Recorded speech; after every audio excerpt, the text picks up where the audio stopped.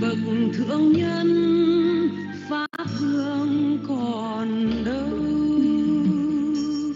Vầng dương vụt tắt trên đầu. Trời cao sụp đổ, địa cầu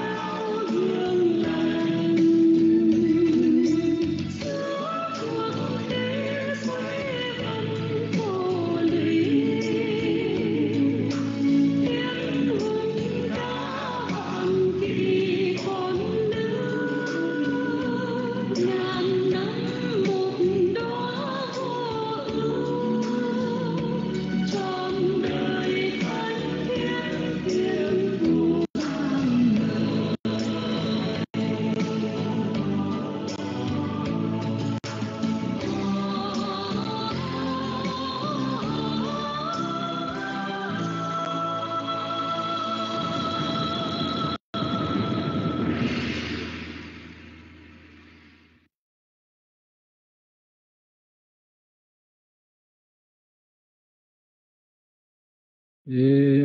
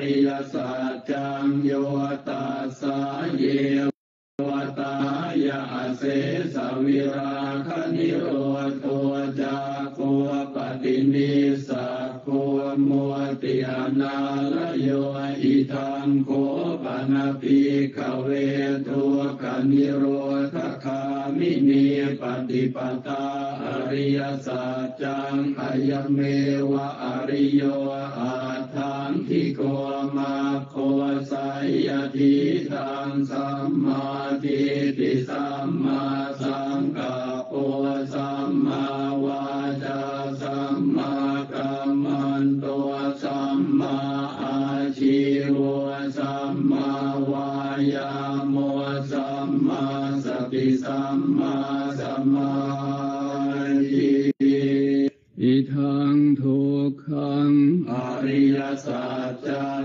ติเมปิขเวปุเพอนันโนสุเตสุตัมเมสุจักคุงอุทปาทิยานังอุทปาทิปัญญาอุทปาทิวิชาอุทปาทิอาโล คปาทิตังโขปนิทังโทขังอริยสัจังปริญญายันติเมปิขเวโอเพอนันโนสุเตสุธรรมเมสุจาคุงอุทปาทิยานังอุทปาทิปัญญาอุทปาทิวิชาอุทาทิอา โลโกอุทปปาทิตังโกปานิทังทุกขังอริยสัจจังปริญญาตันติเมปิขเวปุเพอนันโน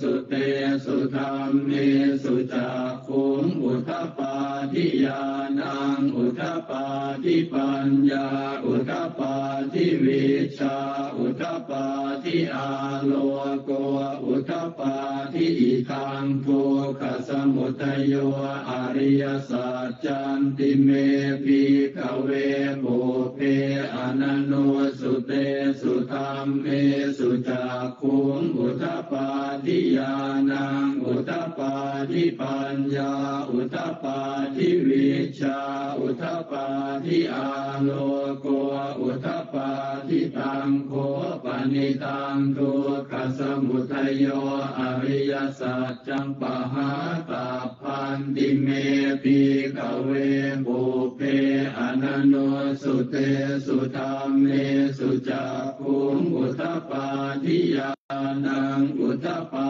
ทิปัญญาอุทปปาทิวิชาอุทปาทิ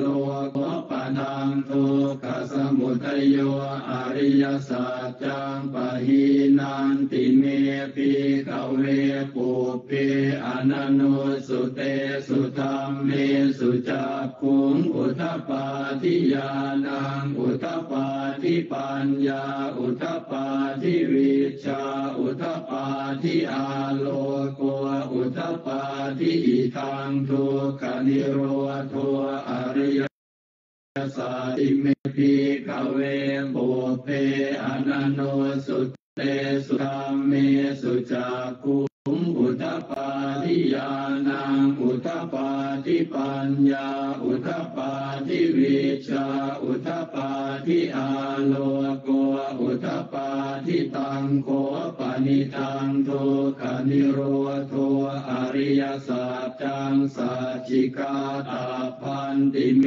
ปิกเวปุเพอนันโนสุเตสุธรรมเมสุจักขุงอุทปปาทิยานังอุทปปาทิปัญญา อุทปปาทิวิชา อุทปปาทิอาโลโก อุทปปาทิตังโคปนิทังทุกขนิโรโทอริยสัจจังสัจจิกตันติเมปิกเวโมเปอนันโนสุเตสุธรรมเมสุจักุงอุทปปาทิยานังอุทปปาทิปัญญา อุทปาทิวิชาอุทปาทิอาโลโกอุทปปาทิอิทังทุกขนิโรธคามินีปฏิปทาอริยสัจจันติเมภิกเวบุ เตอนันโนสุเตสุธรรมเมสุจักุง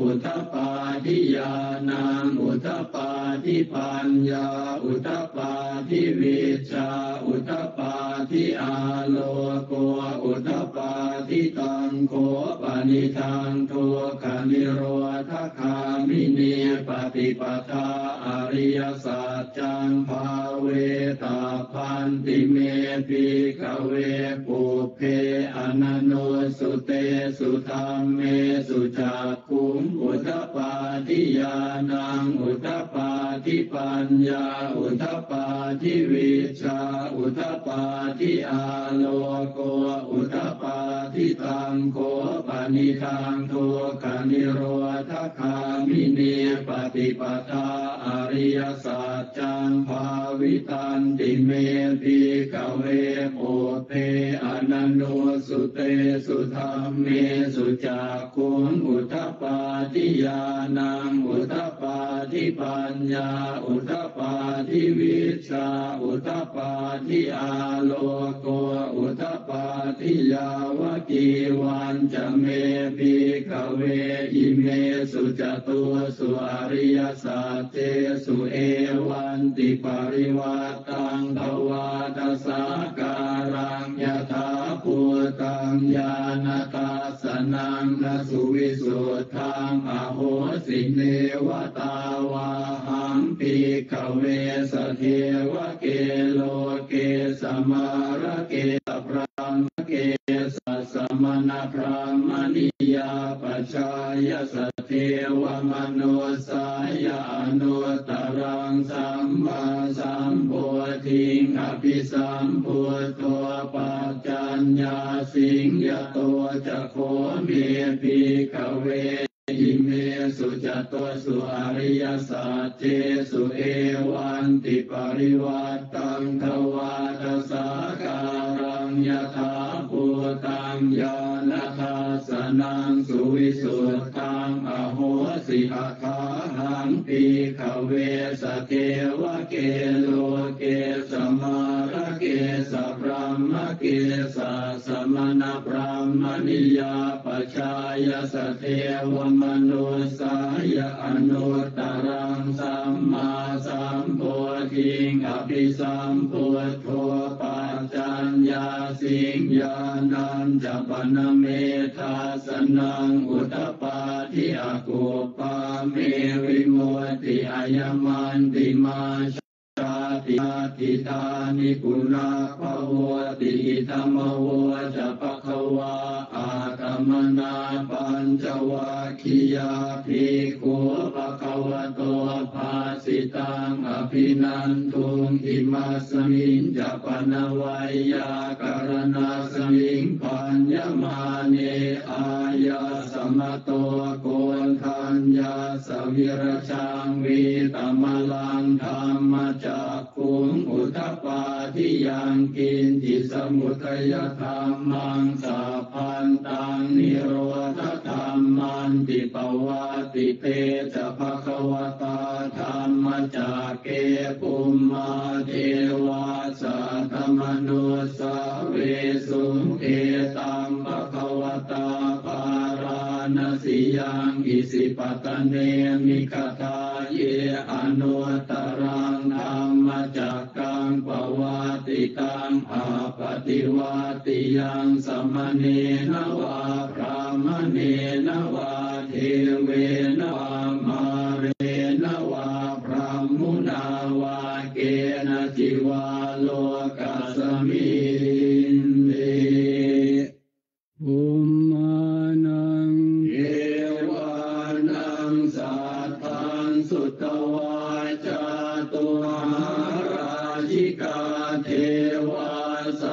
ธรรมโนสาเวสุงจาตุวหาราชิกานังเทวานังสัทธังสุตวากาวติงสาเทวาสัทธมโน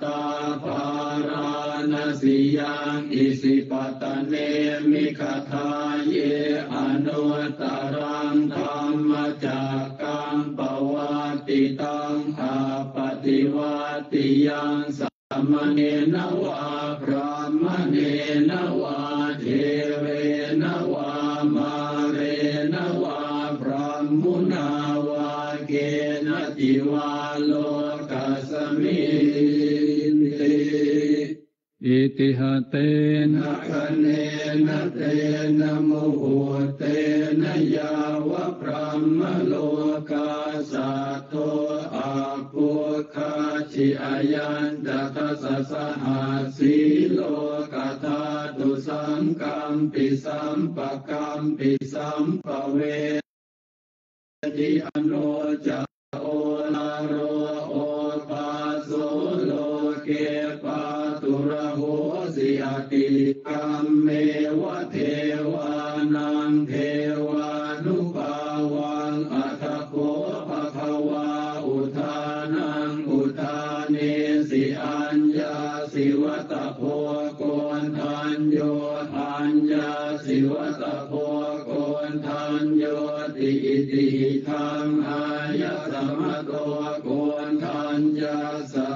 อั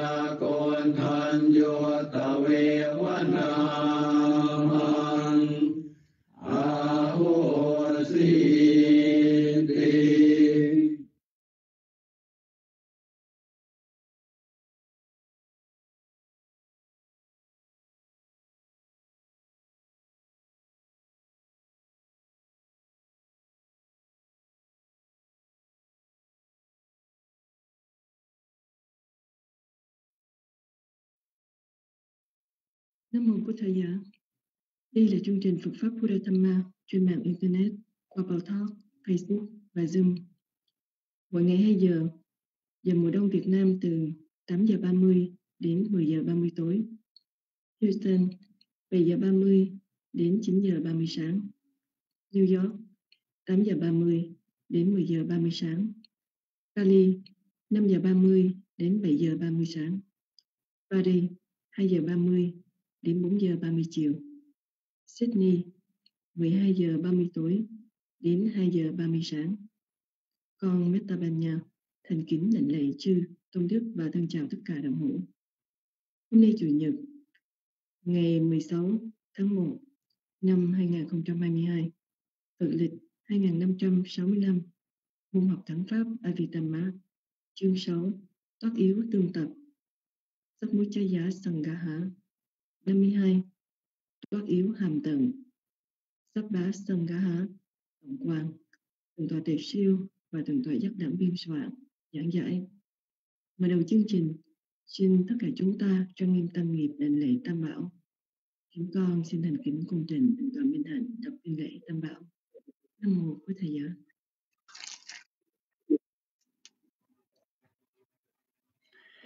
Nhất tâm định lệ đức như lai, bậc ứng cúng chánh biến tri minh hạnh túc thiện thệ thế gian dạy vô thượng điều ngự, thiên nhân sư, phật, thế tôn. Nhất tâm lãnh lễ chánh pháp do phật thiện thuyết thiết thực hẹn tiền, vượt ngoài thời gian, đến để chứng nghiệm hiệu năng hướng thượng, trí dạ thân chứng nhất tâm lãnh lễ chư tăng đệ tử thế tôn, bậc diệu hạnh trực hạnh như chân chánh hạnh gồm bốn đôi tám vị đáng nhận lễ phẩm, tặng phẩm, tế phẩm, kính lễ là phước điền vô thượng trong đời. Nguyện cầu quý đức phật bảo, nguyện cầu quý đức pháp bảo, nguyện cầu quý đức tăng bảo, xin tam bảo gia hộ ngăn ngừa mọi tai ương những hiện tượng bất tường, những mộng mị sâu xa, những nghiệp duyên trở ngại thải đều an tan biến. Nguyện muôn loài chúng sanh, người khổ xin hết khổ, người sợ hết sợ hãi, người sầu hết sầu bi. Biết cho với niềm tin, biết khổ trì giới hạnh, biết là trú trong thiền. Chữ thiên đã vân tập xin tùy hỷ phước lành được các tường như ý rồi phản hồi thiên sứ chí toàn giác đại lực chí độc giác đại lực thinh văn giác đại lực nguyện tổng trì uy đức cầu phúc lành phát sanh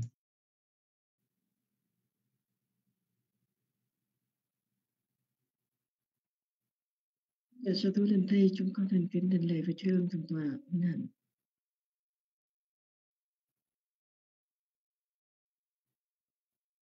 Dạ, giờ đây chúng con chưa thấy thượng tọa chắc đẳng, tâm đạo tràng ạ. À. Dạ vâng, con thành kính cung thỉnh thượng tọa đại siêu từ bi trợ nhập pháp thoại hôm nay.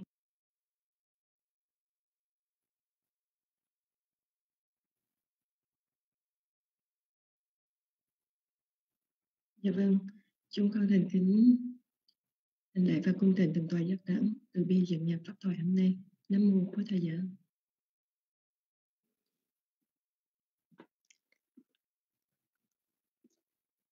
Cảm ơn Thầy Giá. Kính đại lễ Thượng tổ Tự Siêu, đại lễ chư Tổng Đức thân chào tất cả quý Phật tử. À, thưa quý vị, hôm nay chúng ta tiếp tục phần ờ,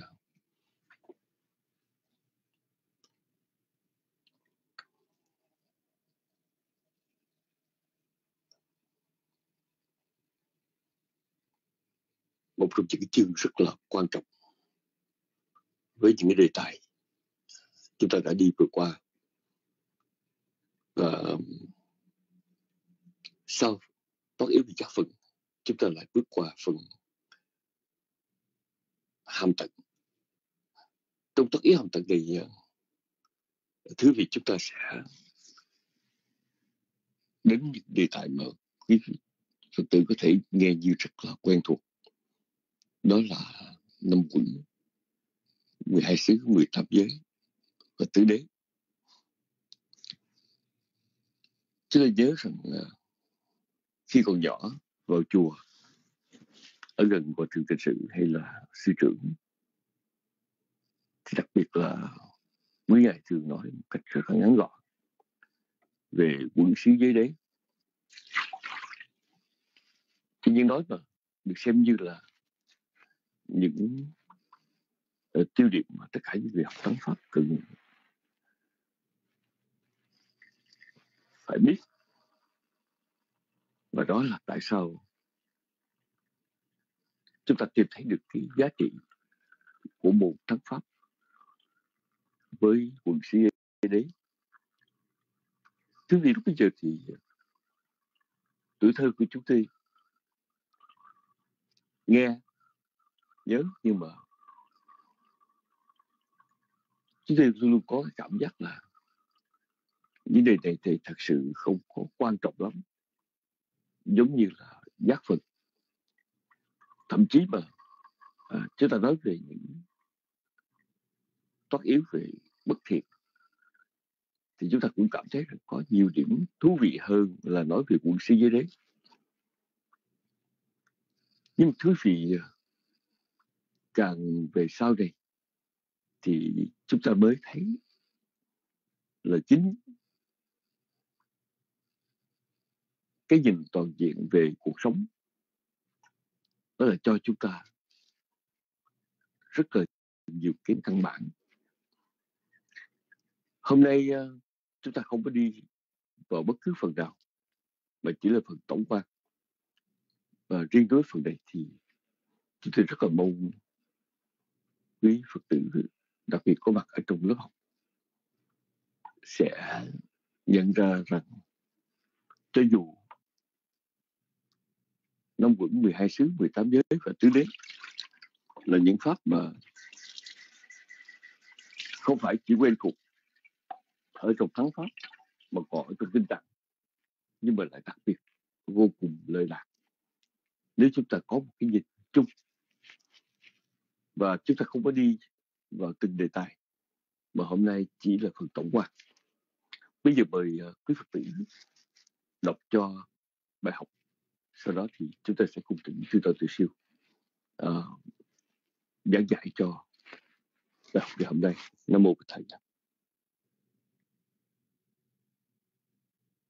Sa thú chúng con kính tri ân thần tòa giác đạo. Bài học hôm nay chương 6 Tốt thương tập. Sách mũi cha giả hả. Bài 52 Tốt yếu hàm tầng Sapa bá Tổng quan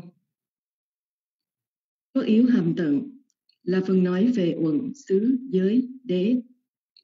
Chương này mang nội dung phổ quát, bao gồm toàn diện vạn hữu. Tứ đế lại nói luôn cả chân đế vô vi. Nếu thắng pháp được biết đến qua những trình bày điểm cực vi của vạn hữu như từng sát na thì uẩn xứ giới đế là một tầm nhìn đại quan về các pháp cũng như trong âm nhạc, không phải chỉ giải thích về các nốt nhạc, mà còn cần đến sự biểu diễn toàn bộ qua các thể loại sự trình bày toàn diện sẽ giúp cho người học Phật, đặc biệt là hành giả tu tập thiền quán, không nuôi ảo giác về một thực thể chân ngã ẩn khuất đâu đó ngoài thế giới của vi sanh diệt. Ở đây có sự gặp gỡ quan trọng của cả hai kinh tạng và thắng pháp tạng. Trong kinh tạng, Đức Phật dạy, chính trong tấm thân dài một sải này sự khổ, nguyên nhân sanh khổ, sự diệt khổ và con đường đưa đến sự diệt khổ. Khi đi sâu vào thắng pháp tạng, thì phần ngôn trên lại càng rõ nét. Uẩn, xứ, giới, đế vừa là cá thể, vừa là đại thể. Không có sự phân lập giữa nhận thức về thế giới chủ quan và khách quan. Thấu triệt từ thể cũng là thấu triệt thế giới. Cũng cần nói thêm là mặc dù các tôn phái Phật giáo ngày nay mang nhiều sắc thái dị biệt, nhưng cả ba hệ Nguyên Thủy, Đại Thừa, Kim Cang Thừa đều nhấn mạnh sự quán triệt năm uẩn, 12 xứ và 18 giới. Ba phạm trù về pháp giới này tự nhiên tôn lên ý nghĩa siêu việt của tứ tế. Học thắng Pháp nói một cách không sợi sai lầm là đào sâu uẩn xứ giới đế. Hiểu được điều này là nhận được, nhận ra được giá trị của tấn Pháp, của Phật Pháp và cuộc hành trình giác ngộ giải thoát của người con Phật. Tập hợp những đề tài bao gồm tất cả Pháp chân đế, Paramattha Thamma, đồng thể loại, gọi là thoát yếu hàm tận. Có năm đề tài là một ngũ uẩn, Panchat Khandha, gồm năm uẩn là sắc uẩn, Rupak Khanto, thọ uẩn, Vedanak Khanto, tưởng uẩn, sinh nhất khanh thù, hành uẩn, Sankarak khanh thù và thức uẩn, Vinyanak khanh thù. Hai, ngũ thủ uẩn. Panchapada khanh. Gồm năm thủ uẩn là sắc thủ uẩn, Upupada khanh và thủ uẩn, Vedana khanh thù, thượng thủ thuẫn Sanupadana Khanto, hành thủ huẩn, Sakarupanada Khanto và thức thủ. Thức thủ Paralat Vinyanupadana Khanto. Ba thập nhị sử Dorasa Yata Nani. Gồm 12 xứ là nhãn xứ Chakaya Tanang nhị xứ Sotaya Tanang tỷ xứ Kanaya Tanang thiệt sứ. Chuyata Gai Tanang xứ, sứ. Kayata dạ ta năng ý xứ mana dạ ta năng sắc xứ ba dạ ta năng thinh xứ ba dạ sắc sắc đa dạ ta năng khí xứ gan thay dạ ta năng vị xứ rasa dạ ta năng trúc xứ Buddha Baya Tanang và Pháp Sư Thamaya Tanang bốn Thập bát giới. Atharasa Thatuyo G18 giới là nhãn giới. Chakku Thatu, nhị giới. Sota Thatu tỷ giới. Gana Thatu, thiệt giới. Chiha Thatu, thần giới. Kaya Thatu, sắc giới. Rupa Thatu thình giới. Sadatatu khí giới, ganda, Thatu vị giới. Rasa thả xúc giới. Sotapa Thatu nhãn thức giới. Chắc khu vinh nhà nạ thả trụ nhị giới. Sota vinh nhà nạ thả trụ thị thức giới. Gana vinh nhà nạ thả trụ thị thức giới. Chi phà nhà nhà nhà nà nạ thả trụ hình thức giới. Kaya vinh nhà nạ thả trụ ý giới. Mano thả trụ, pháp giới. Tham mạ thả trụ, và ý thức giới. Mano vinh nhà nạ thánh Chatari Ariya Satchani. Có bốn thánh đế là của thánh đế Dukkhan Ariya Satchang khổ tập thánh đế. Dukkha Manu Dayo Ariya sắc chẳng hồi diệt thánh đế Dukkha Nirodho Ariya Satchang và khổ diệt hành lộ thánh đế Dukkha Nirotha Kamini. Gapipada Ariya Satchang Bài đã học bài 51 toát yếu giác phần. Bodhipakhiya Sangha Bác chỉ đạo. Bài học tiếp theo, Bài 53 toát yếu hàm tận. Sapa Sangaha ngũ uẩn và ngũ thủ uẩn. Giờ đây chúng con thành kính đảnh lễ và cung thịnh thượng tọa tề siêu. Vì thuyết giảng bài học hôm nay năm mùa của thời gian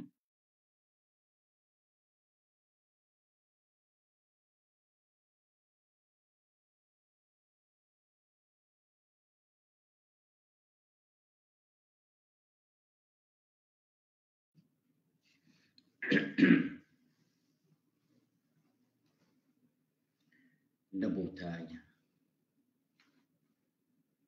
Kính lễ Đức Phật, kính lễ Giáo Pháp, kính lễ Tăng chúng. Kính chào Thượng tọa Nhật Đẳng, Thượng tọa Tây Nguyên, Thượng tọa Tân cùng chư Tục Đức. Có mặt trong rừng. Thân chào quý bà quý cô tu nữ chư Phật tử.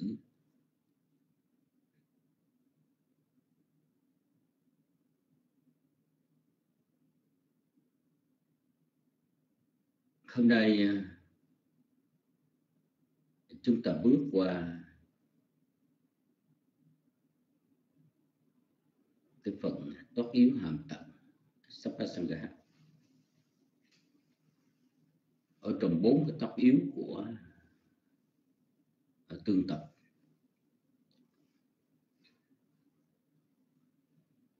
Chúng ta đã học về tốt yếu bất thiện. Tốt yếu hộ hợp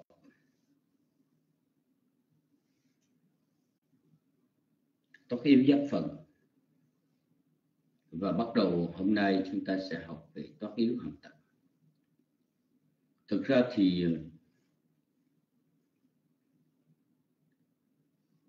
toán yếu hàm tận nó chỉ gồm có bốn đề tài lần quẩn xứ giới đế.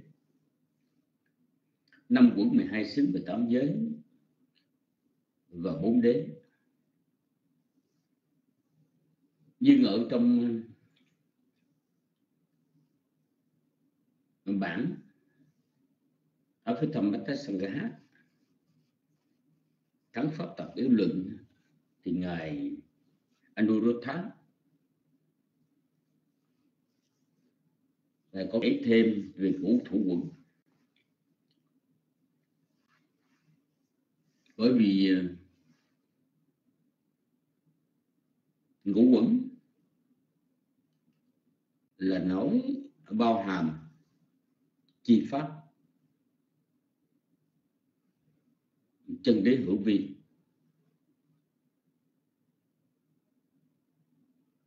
Nhưng ở trong kinh tạng khi mà đức phật đã thuyết ngũ thủ quẩn thì không phải là lấy hoàn toàn. Không phải là lấy hết tất cả pháp chân đế, hữu vi, mà chỉ lấy cái phần cái pháp hiệp thế thôi. Chính vì vậy mà ngài Anuruddha ngài nói thêm cái phần ngũ thủ quẩn. Trong bài học tới, chúng ta sẽ học cả về ngũ quẩn và ngũ thủ quẩn. Cũng đều là sắc thọ tưởng, hành thức. Nhưng mà sắc quẩn là khác, mà sắc thu quẩn là khác. Thọ quẩn là khác, mà thọ thủ quẩn là khác tưởng quẩn là khác, tưởng thủ quẩn là khác, hành quẩn là khác.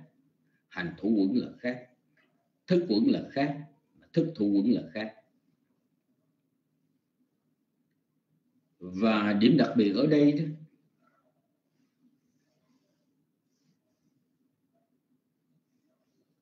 là tại sao Đức Phật ngài thuyết ngũ quẩn rồi ngài thuyết thêm ngũ thủ quẩn. Thưa quý vị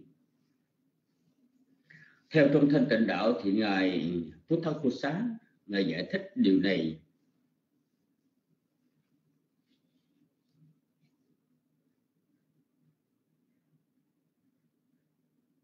Là cảnh của tuệ quán vipassana. Nha nó cảnh của tuệ quán là ngũ thủ quẩn, chớ không là ngũ quẩn để chúng ta lưu ý điểm này.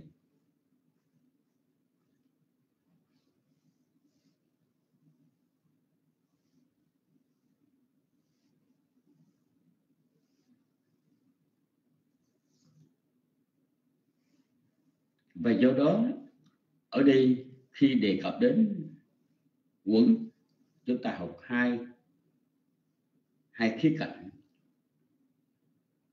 là ngũ quẩn và ngũ thủ quấn. Điểm này à, tuần sau chúng ta sẽ học tới. Ồ, không phải là tuần sau nữa, mà là thứ năm chúng ta sẽ học tới.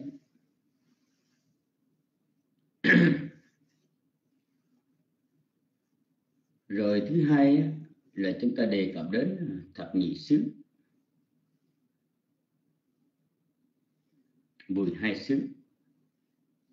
12 xứ trong đó có 6 nội xứ và 6 ngoại xứ. Sáu nội xứ là nhãn xứ, nhị xứ tỷ xứ thiệt xứ, thân xứ, ý xứ. Sáu ngoại xứ là sắc xứ, tinh xứ, khí xứ, vị xứ, xúc xứ và pháp xứ.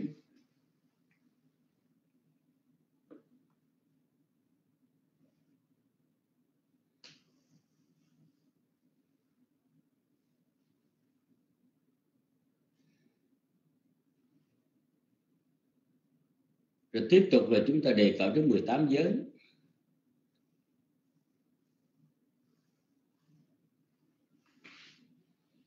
mười tám giới ở đây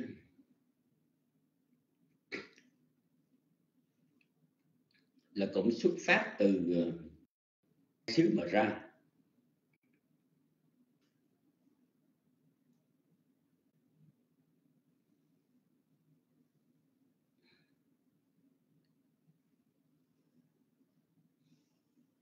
Nhãn giới là nhãn xứ nhị giới là nhị xứ tỷ giới là tỷ xứ thiệt giới là thiệt xứ thân giới là thân xứ xúc giới là xúc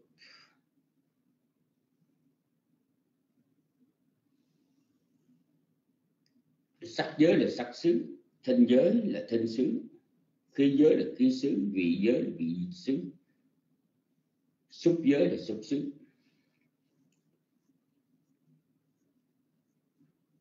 nhưng khi nói đến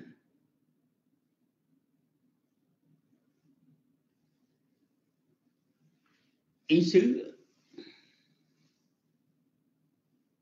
thì ờ, ở trong, cũng ở trong thanh tịnh đạo, nói rằng ý xứ mana với tịnh á, đó là bảy bảy giới thuộc về tâm hay là bảy tâm giới.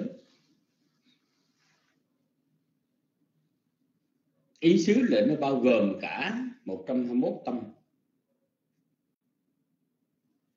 Nhưng Đức Phật ngài thuyết ý xứ thành ra bảy giới, tức là nhãn thức giới, nhị thức giới, tỳ thức giới, thiệt thức giới, thân thức giới, ý giới và ý thức giới.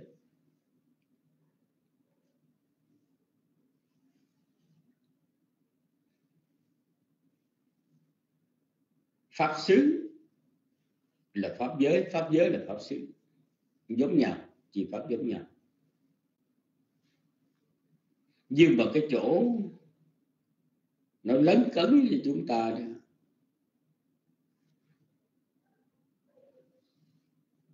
là khi 18 giới, chúng ta nghĩ rằng đó là sáu bộ ba căn cảnh và thức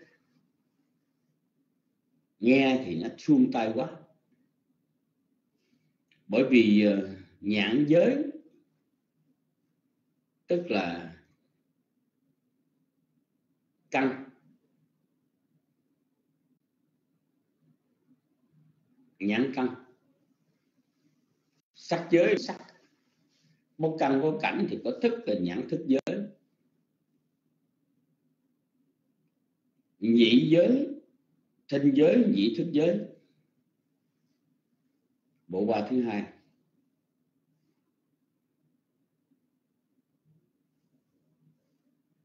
Tỷ giới khi giới tỷ thức giới là bộ ba thứ uh, là cái bộ ba thứ uh, thứ ba. Thiệt giới vị giới thiệt chất giới là bộ ba thứ tư.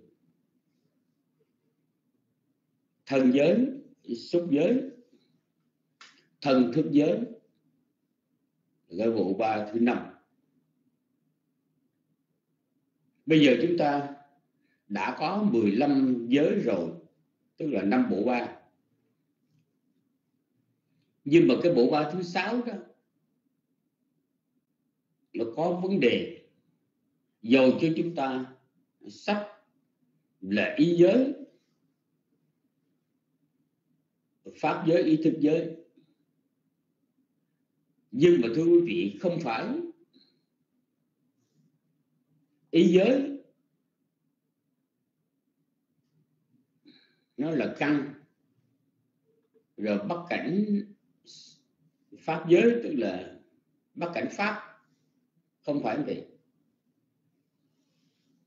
Rồi phát sinh ra ý thức giới. Cũng không phải như thế. Cho nên ý giới pháp giới ý thức giới nó riêng biệt với nhau chứ nó không thể là bộ ba được. Bởi vì ý giới ở đây nếu nói theo thắng pháp á, manu tha túc ở đây tức là chỉ cho hai tâm tiếp thâu savatichana chitta và tâm khai ngũ môn panchadvara vachana chitta. Ba tâm này là ba tâm ý giới. Mà ba ý giới đó, đối tượng của ba ý giới là cảnh ngũ chứ không phải là cảnh pháp. Vì rằng, tâm khai ngũ môn, bắt cảnh sắc, hoặc cảnh thinh cảnh khí, cảnh vị, cảnh xúc tâm khai môn sinh trước, xong rồi mới tới tâm nhãn thức, hoặc nhĩ thức, hoặc tỷ thức, hoặc thiệt thức, hoặc thân thức. Rồi sau ngũ xung thức đó mới phát sinh lên hai, một trong hai cái tâm tiếp thu, tâm tiếp thu là tiếp thu quả bất thiện và tiếp thu quả thiện. Vô nhân, quả thiện thọ xã thì như vậy khi mà chúng ta nói về đối tượng của tâm khai ngũ môn và hai tâm ý giới, hai tâm tiếp thu thì chúng ta nói đó là cảnh ngũ là gồm năm cảnh. Sắc, cảnh thân, cảnh khí, cảnh vị cảnh xúc. Nhưng tuyệt đối, ba ý giới không có bất cảnh pháp. Đây là cái chỗ mà chúng ta bị lấn cấn.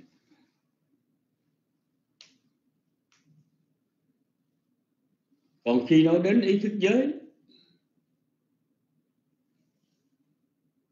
thì ý thức giới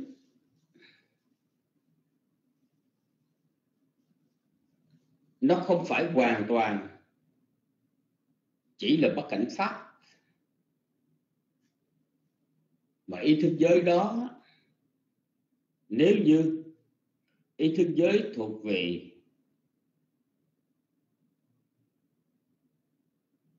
tâm dục giới, tâm dục giới nó có 54 tâm. Mà nếu chúng ta trừ ra ngủ sống thức và ba tâm ý giới, thì trừ ra 13 thì chúng ta còn lại bao nhiêu? Là chúng ta còn lại 40 41 chúng ta còn 41 tâm. Ở 41 tâm đó đó,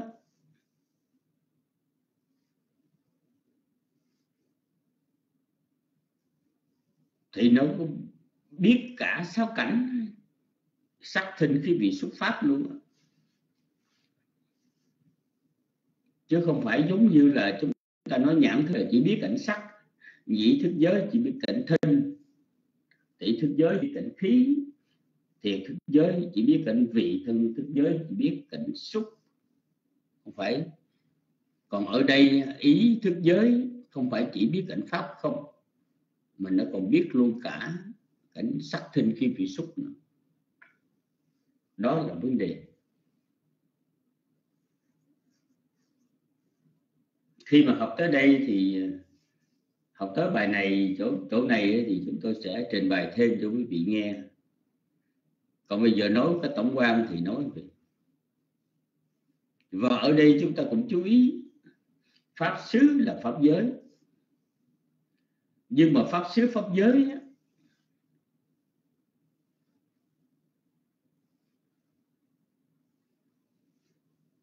nó thuộc về cảnh pháp. Nó là cảnh pháp nhưng mà cảnh pháp không phải chỉ có ý giới chỉ có pháp xứ và pháp giới không. Cái chỗ này chúng ta cũng phải người học thắng pháp đó, ở mấy cái chi tiết này mà chúng ta không có cặn kẽ không có biết rành rẽ đó thì xem như là chúng ta vẫn còn thiếu sót. Vì ờ, ý xứ ờ, vì pháp xứ và pháp giới chi pháp của nó là 52 tâm sở 16 sắc tế và niết bàn. Trong khi đó, cảnh pháp tham ra ra năng đó tham ra năng thì nó bao gồm cả tâm tâm sở.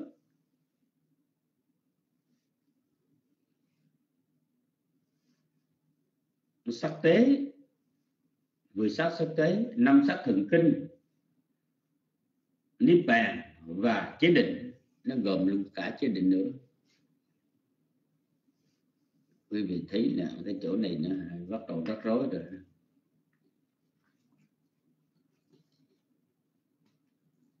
Nhưng mà chúng tôi không hiểu sao, mặc dù nó rắc rối như vậy nhưng mà chúng tôi vẫn cảm thấy học giáo lý mà học thắng pháp lại là nền tảng cho trí tuệ để chúng ta đi vào trong kinh tạng và luật tạng. Nó không có khó khăn.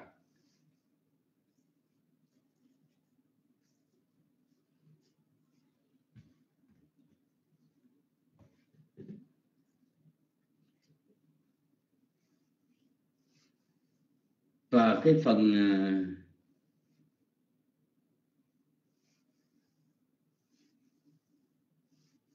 nói về à, tứ đế, thưa quý vị.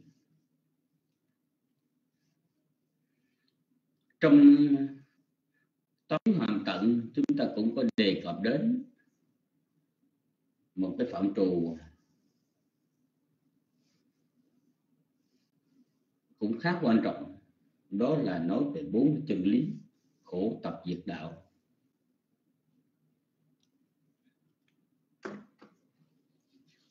Hay là khổ thánh đế? Khổ tập thánh đế, khổ diệt thánh đế, khổ diệt hành lộ thánh đế.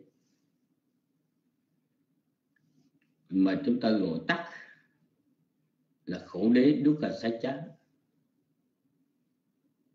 tập đế samudaya sai satcha diệt đế nirotha satcha và đạo đế makka satcha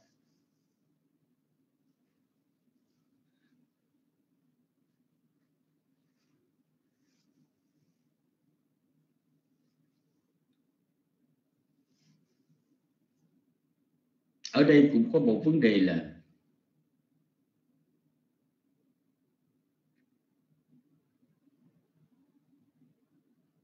ở trong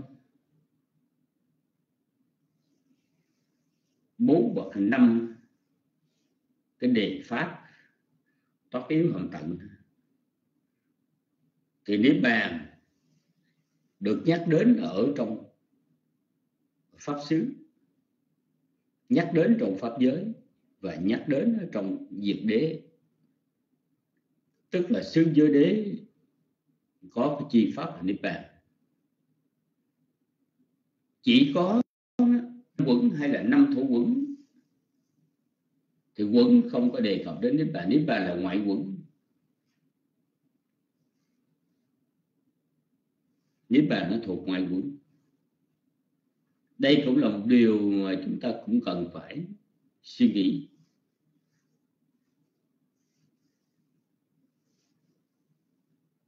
Thưa quý vị, ở trong bài à, để viết, giới thiệu tổng quan, như chúng ta đã được nghe,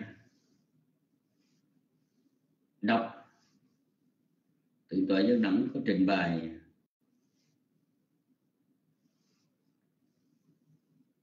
Khi đi sâu vào thắng pháp tạng thì Phật ngôn mà Đức Phật ngài dạy rằng chính trong tấm thân dài, một sải tay này như lai tuyên bố sự khổ, nguyên nhân sanh khổ sự diệt khổ, và con đường đưa đến sự diệt khổ. Thì Phật ngôn đó lại càng trở nên rõ nét khi đi sâu vào thắng pháp. Quẩn xứ như đế vừa là cá thể, vừa là đại thể.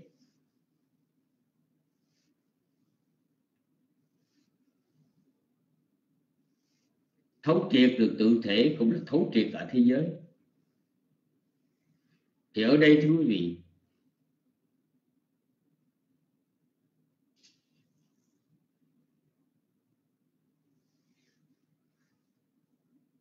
chúng ta nói một cách ừ, rõ nét hơn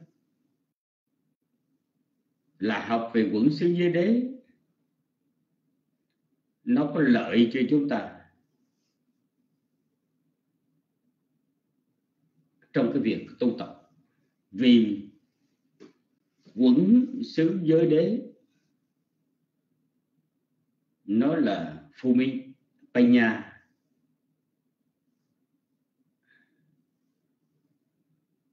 nó là mảnh đất cho cho tuệ, mảnh đất cho tuệ.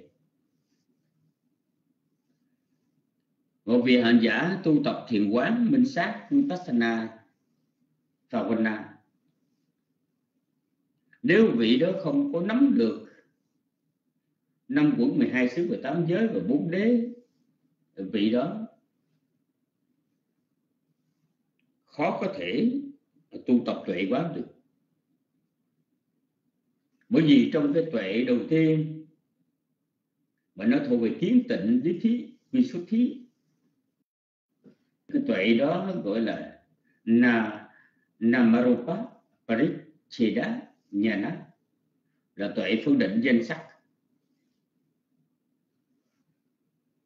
Hành giả phải bước đầu phải ghi nhận danh sắc qua ngũ quẩn 12 xứ và tám giới.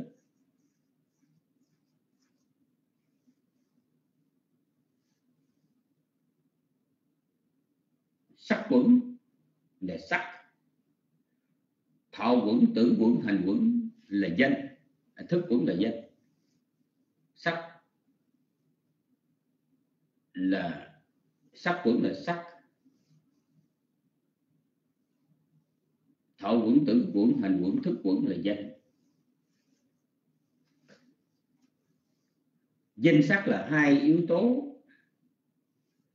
để tạo nên cái gọi là chúng sanh người trời, thú vật vân chung quy chỉ là danh sắc thôi cho nên vì hành giả phải thông suốt vì năm quẩn ngũ quẩn hay ngũ thủ quẩn nếu như hành giả hành thiền quá. Để biết được danh sắc rồi xứng trong 12 xứ đó thì 11 xứ thô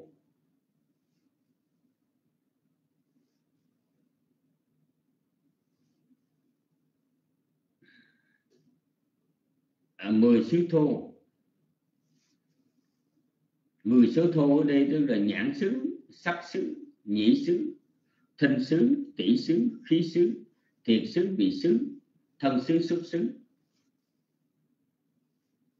Mười xứ thô đó đó là sắc. Ý xứ và một phần pháp xứ là danh. Một phần pháp xứ ở đây tức là chỉ cho 52 tâm sở. Nó là danh.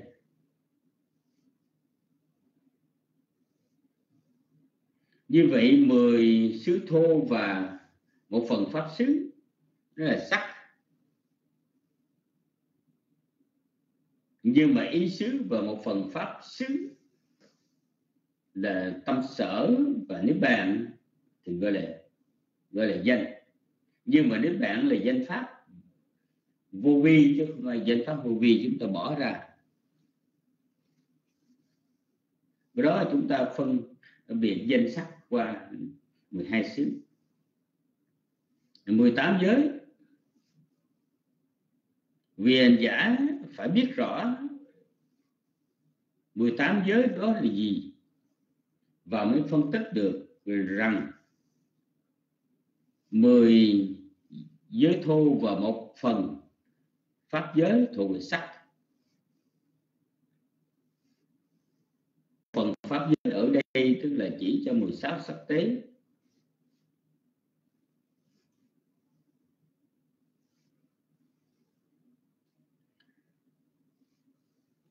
Còn lại, nhãn, thức giới nhị thức giới, tỷ thức giới, thiệt thức giới, thân thức giới ý giới ý thức giới và một phần pháp giới. Nó thuộc vị nó thuộc vị danh. Hành giả phải biết rõ như vậy.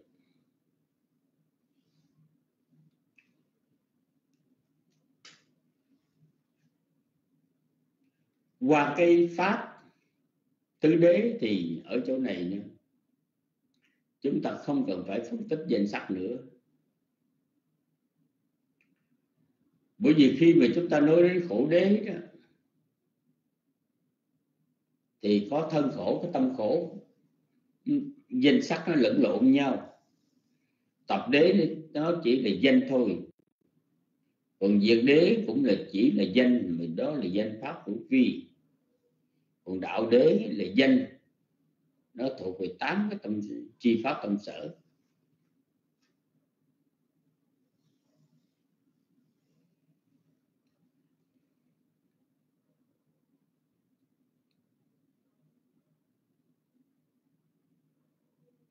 Chúng ta cần phải phân tích cái trong cái vấn đề này, chúng ta mới có thể làm cho phát sinh tuệ quán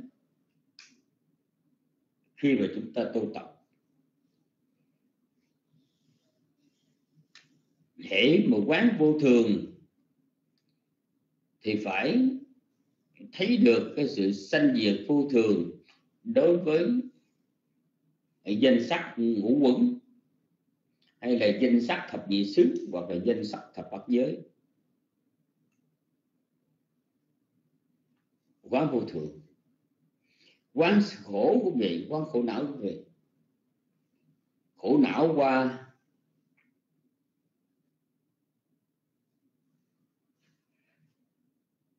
mười hai xứ, mười tám giới. Nhưng mà ở chúng ta nói một cách đại trà như vậy chứ ở đây chúng ta phải biết rằng là khi mà nói đến xứ, pháp xứ và pháp giới, trong đó có niết bàn, thì niết bàn không thể là cái tính chất là khổ.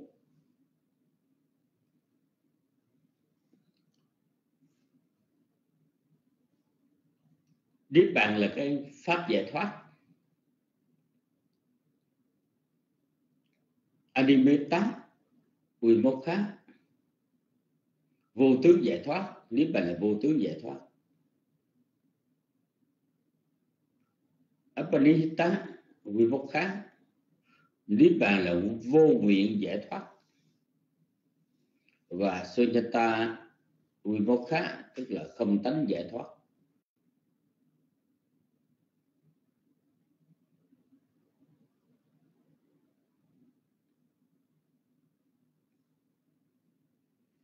Cho nên khi mà chúng ta trình bày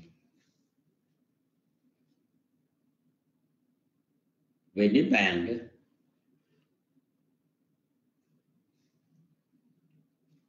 chúng ta nói đến pháp xứ, pháp giới thì chúng ta phải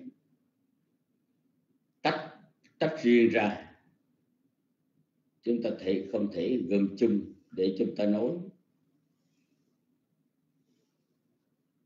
Năm quẩn 12 xứ 18 giới. Nó là đối tượng của tuệ quán. Không chủ gì đứa bạn đặc biệt lắm hệ chúng ta nói mà bao hàm.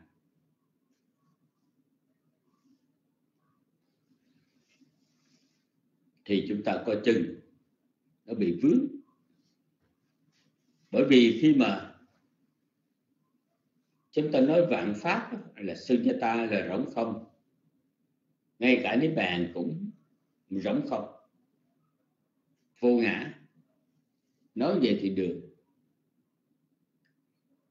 Nhưng mà nói đến vạn pháp, hữu vi có sanh có diệt. Thì nếu bạn là không sanh không diệt cho nên mới gọi là vô tướng vô tướng giải thoát. Nếu bạn không sanh không diệt.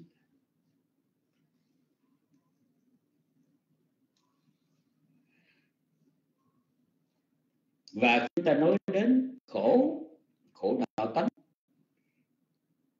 Thì chúng ta phải biết rằng khổ là cái gì? Cái sự diễn biến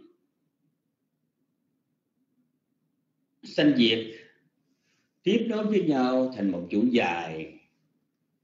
Thì cái đó chúng ta gọi là, chúng ta gọi là khổ. Một chuỗi dài sanh diệt, cái đó là khổ. Nhưng khổ này là chúng ta phải hiểu là khổ tam tướng. Thì lắc hành khổ tam tướng chứ không phải là, không phải là Ờ, khổ khổ ở trong ờ, cái pháp tục đế. Ờ, cái pháp khổ đế.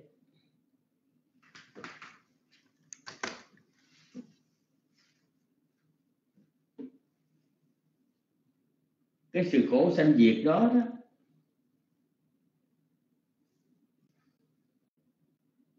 là pháp nào bị vô thường thì pháp đó mới là khổ. Mà nếu bàn không có bị vô thường chi phối, cho nên nếu bàn không gọi là khổ. Mặc chủ là pháp xứ, pháp giới.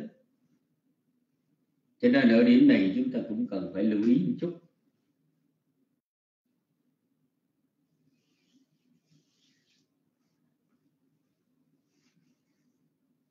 Chúng ta đừng nghĩ rằng là học Phật pháp này dễ. Học kinh tạng có cái khó, kinh tạng. Học luật tạng có khó, luật tạng. Và chúng ta học thắng pháp tạng, chúng ta có những cái khó của thắng pháp tạng. Không có cái nào dễ. Hết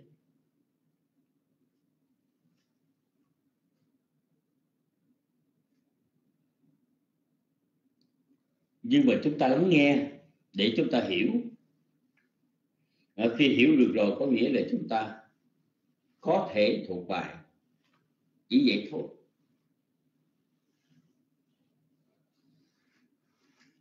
Thưa quý vị, hôm nay ở trong cái phần tổng quan thì cũng không có vấn đề gì để nói, bởi vì nếu mà chúng tôi định nghĩa và phân tích lấy chi pháp ra thì như vậy là để đi vào trong cái bài học sắp tới, từng phần từng phần. Do đó chúng tôi cũng đề cập đến một cách à, tổng quát về ba cái chủ đề hôm nay mà thôi.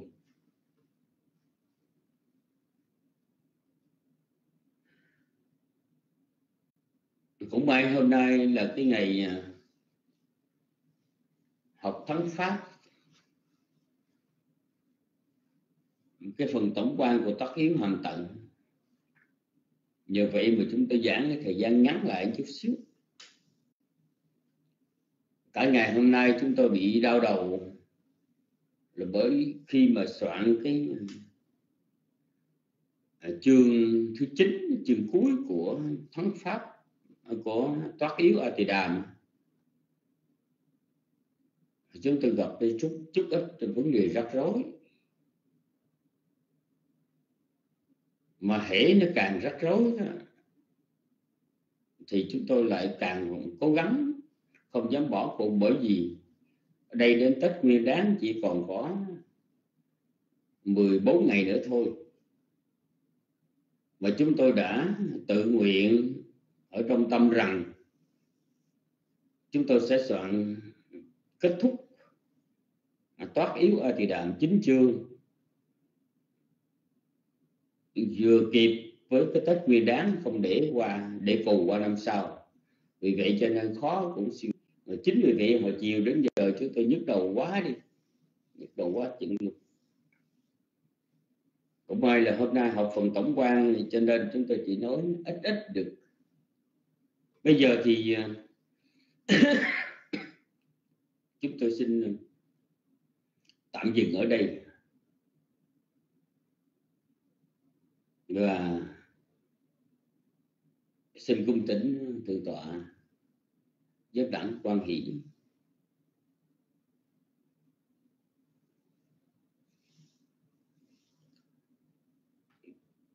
Thảo luận cùng với chư tăng. Trong cái bài học tổng quan này, cũng rất là quan hỷ hôm nay có thượng tọa tuệ quyền thượng tọa tân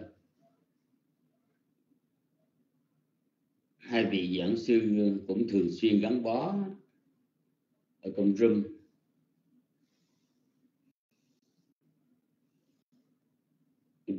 ngày nào cũng gần như có mặt để các vị giúp cho cái phần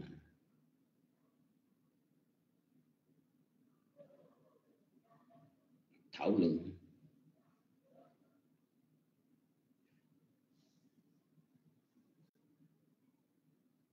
Không biết thượng tọa chắc đẳng có mặt ở trước máy không? Xin thỉnh thượng tọa. Nam mô bổn thầy.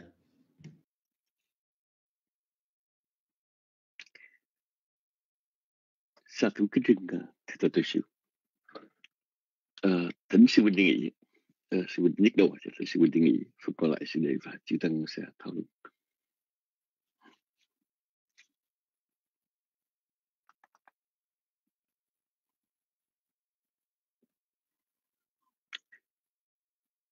là thứ sự tự cơ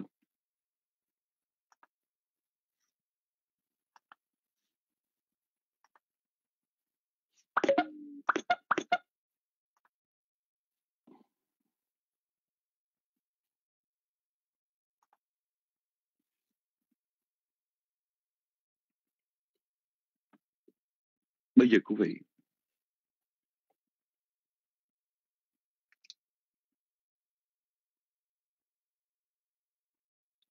trong những trở ngại của người học tấn pháp.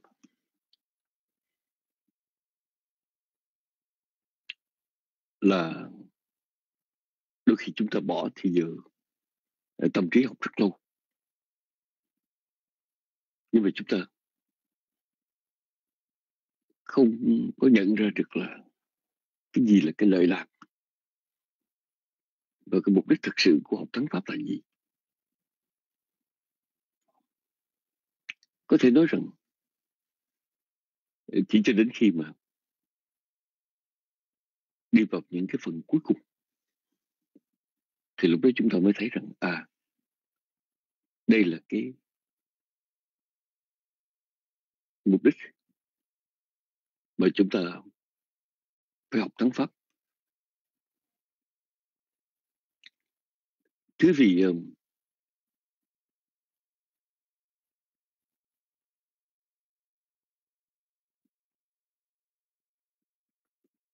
trong chương tót yếu về hàm thận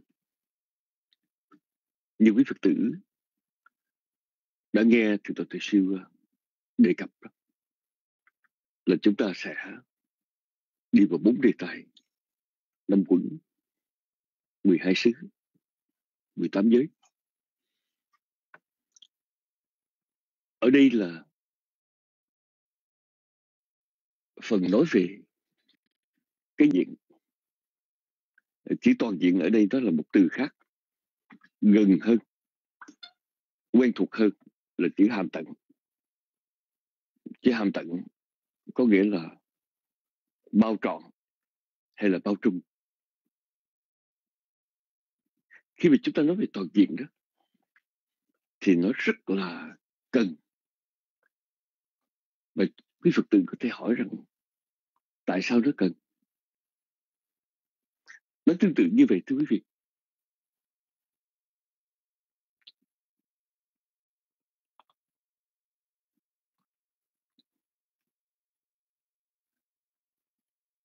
Nếu chúng ta tập trung làm một cái gì đó mà chúng ta nghĩ rằng điều mà chúng ta đang làm đó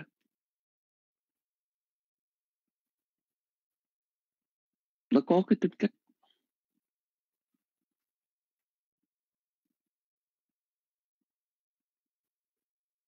bao trùm trọn vẹn đó, thì chúng ta sẽ không còn băn khoăn, lo ngại là mình phải bận tâm những chuyện khác mà mình không biết. Lấy một thí dụ là khi mình nói về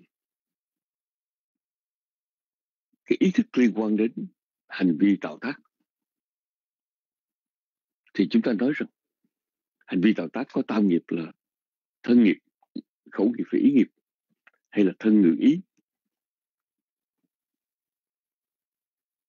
Thì điều này có nghĩa là ngoài thân khẩu ý, chúng ta không còn cần phải quan tâm đến những chuyện khác nữa. Tại vì ba cái thân khẩu ý nó bao gồm tất cả. Lục căn. Thì khi mà mình hiểu được rằng có thu thúc lục căn có nghĩa là mình có thể đã canh chừng tất cả những cửa đi vào của những phiền não thì chúng ta lại cảm thấy mình an lòng mình nắm trọn hết. Có một lần ờ, chúng tôi nghe một bài giảng của ngài, à, ngài, ngài đó ngài dạy rằng khi mà một người ngồi xuống để tu tập thiền định. Vì đó chỉ là một việc duy nhất là theo dõi hơi thở ra và vào. Nhưng mà trong sự theo dõi hơi thở đó, thì vị này cần có được một cái nhìn đại quan là ở trong giờ phút này. Ở tại đây. Có một việc duy nhất. Là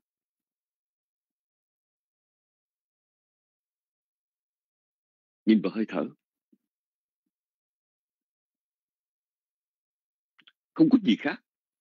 Phải bận rộn. Không có gì khác, phải băn khoăn.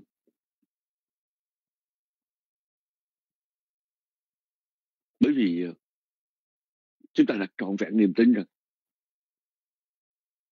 với sự tỉnh thức với chánh niệm, mình có thể lắng lặng, nhìn hơi thở hơi thở vào. Là chúng ta đang sống và sống một cách trọn vẹn. Mà mình không cần phải lo lắng phải bận tâm gì khác phải bận tâm việc nhà, việc cửa, việc ngày mai, việc quá khứ, việc tương lai. Và vị đặc biệt nói rằng, ở trong giờ phút này,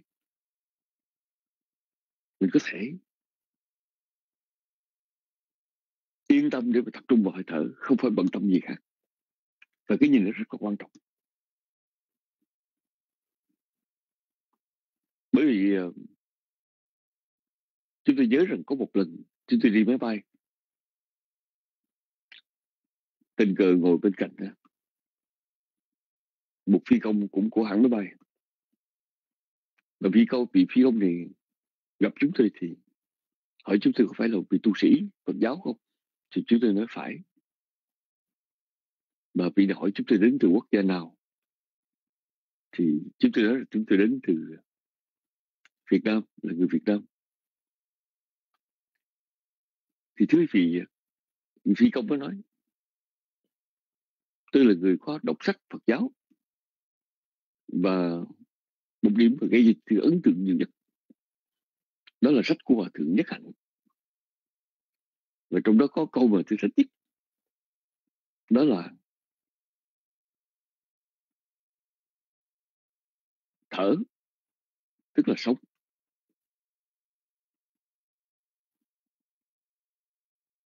Chỗ thì à, ông nói rằng tôi cảm tưởng như. Là một cái chân lý mà tôi chưa bao giờ tìm ra. Chỉ biết là hồi nhỏ, tới lớn đi học rồi trong suy nghĩ, bác sĩ nói rằng, hãy cái bạch tim mà nó tốt, tức là sức khỏe tốt. Đó là đối với những y khoa đối với những sức khỏe. Nhưng mà bây giờ, lớn lên, đọc cuốn sách mà của Phật giáo mới nói rằng, mình thở tức là mình sống. Thấy nó kỳ diệu quá. Hơi thở giống như là cái mạch của đời sống vậy.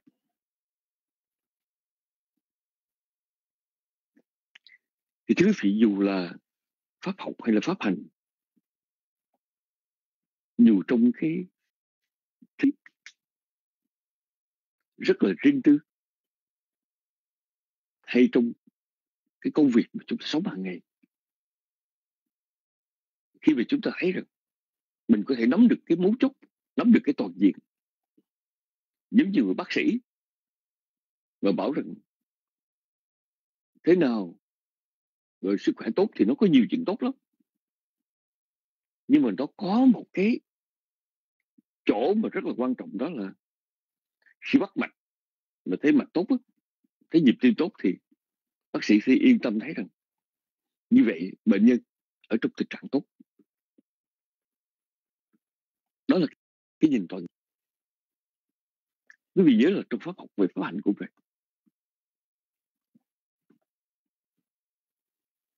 và điều này đó, nó khiến chúng ta cảm kích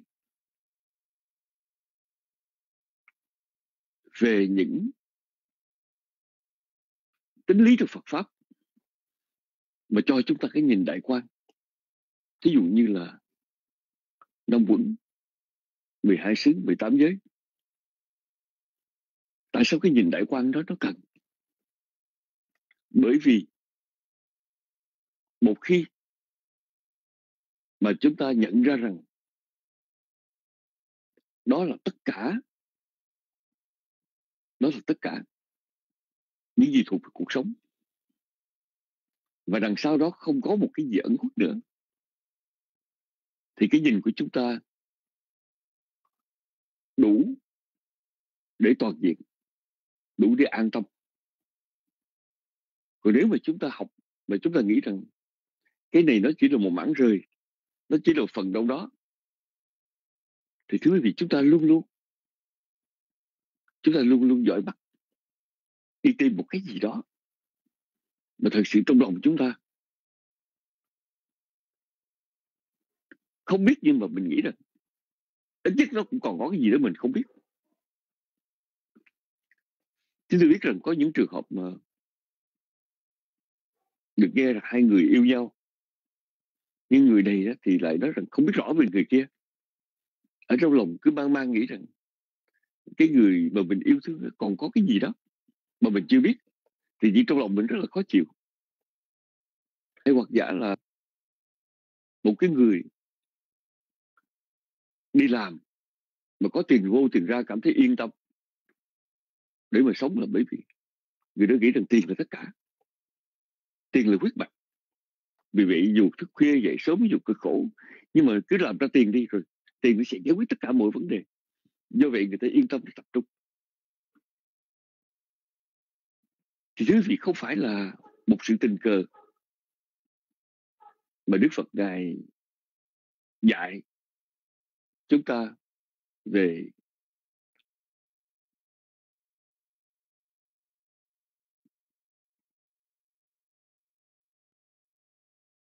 lời chi thì theo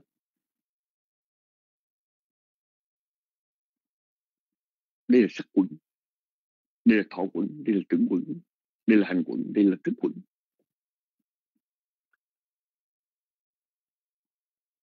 Sắc quẩn, thọ quẩn, tưởng quẩn, hành quẩn, thức quẩn.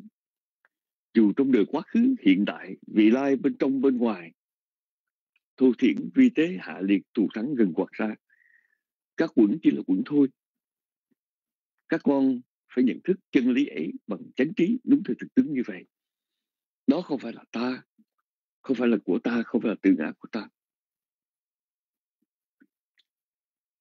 Khi mà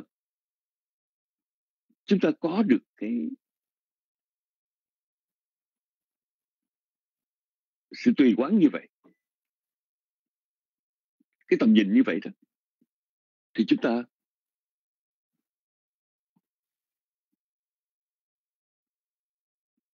bắt đầu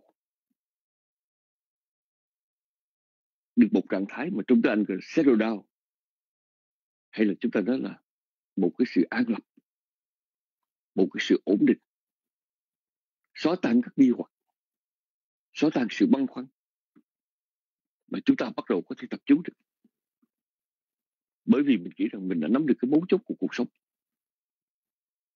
Thật ra chúng ta nên nhớ một điều như vậy cái tính tổng quan, cái tính phổ quát, cái tính toàn diện thật sự rất là quan trọng. Dù trong pháp học hay pháp hành, cho dù chúng ta nói rằng tam nghiệp, cho dù chúng ta lục căn, cho dù cho nói về ờ, năm quẩn 12 xứ 18 giới, thì cái tính toàn diện đều quan trọng hết.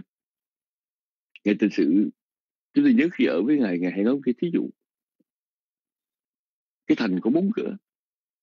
Một vị tướng giữ, giữ thành đó là vị tướng phải nắm vững tình hình cả bốn cửa.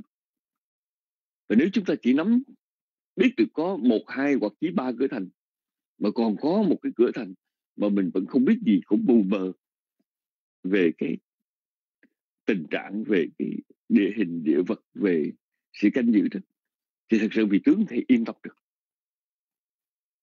Và vị tướng bắt buộc phải biết đủ trọn vẹn cả bốn cửa thành. Thì thưa quý vị, cũng đề tài này, nó lại xóa tan đi một cái nhận thức về tự thể và khách thể cái xóa tan đó là như thế nào? Chúng ta nghe ở trong kinh đức phật dạy đó. Trong tấm thân dài một sải này dài một sải tay này, ta tuyên, như lai tuyên bố, sự khổ, nguyên nhân sanh khổ, sự diệt khổ, con đường đến sự diệt khổ.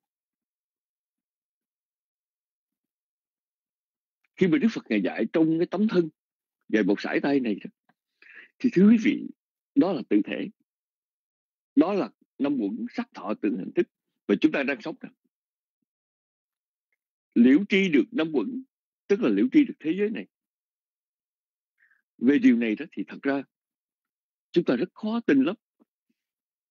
Cả cuộc đời của chúng ta, từ nhỏ mà lớn lên, mong được đi từ nơi này sang nơi khác. Biết từ lĩnh vực này sang lĩnh vực khác, tiếp xúc người này từ người này sang người khác. Thậm chí di dời từ cái châu lục này sang châu lục khác. Con người bây giờ còn nghĩ đến vũ trụ bao la, còn nghĩ đến còn di dân lên quả tinh. Chúng ta khao khát biết về thế giới này, một thế giới bao la bên mông vô tận. Nhưng mà cho đến một lúc nào đó, chúng ta đến cái mức độ mà thấy được rằng hiểu biết được bản thân, là hiểu biết được thế giới, thì thực sự, thưa quý vị, đó là một ở trong những cái nhận thức bằng tính đột phá. Giúp chúng ta yên tâm, giúp cho chúng ta không còn cảm thấy ray rứt, không còn cảm thấy thì bị lôi kéo, phải chạy đầu này, chạy đầu kia. Và thậm chí có thể ngồi lại ở trong một cái âm thức. Trống rộng dưới một gốc cây ở trong một khu vườn rừng vắng. Và chỉ ngồi chỉ lặng lặng nhìn vào hơi thở. Và ở đó chúng ta đủ sự yên tâm thấy rằng mình có thể sống có thể nhận thức có thể thắp sáng trí tuệ mà không cần phải dông rủi ở bốn phương trời không phần phải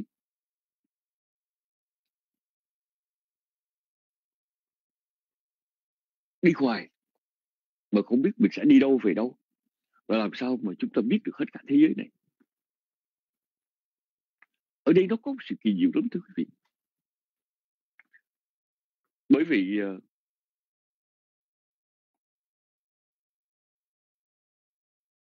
khi mà chúng tôi còn nhỏ vào chùa rồi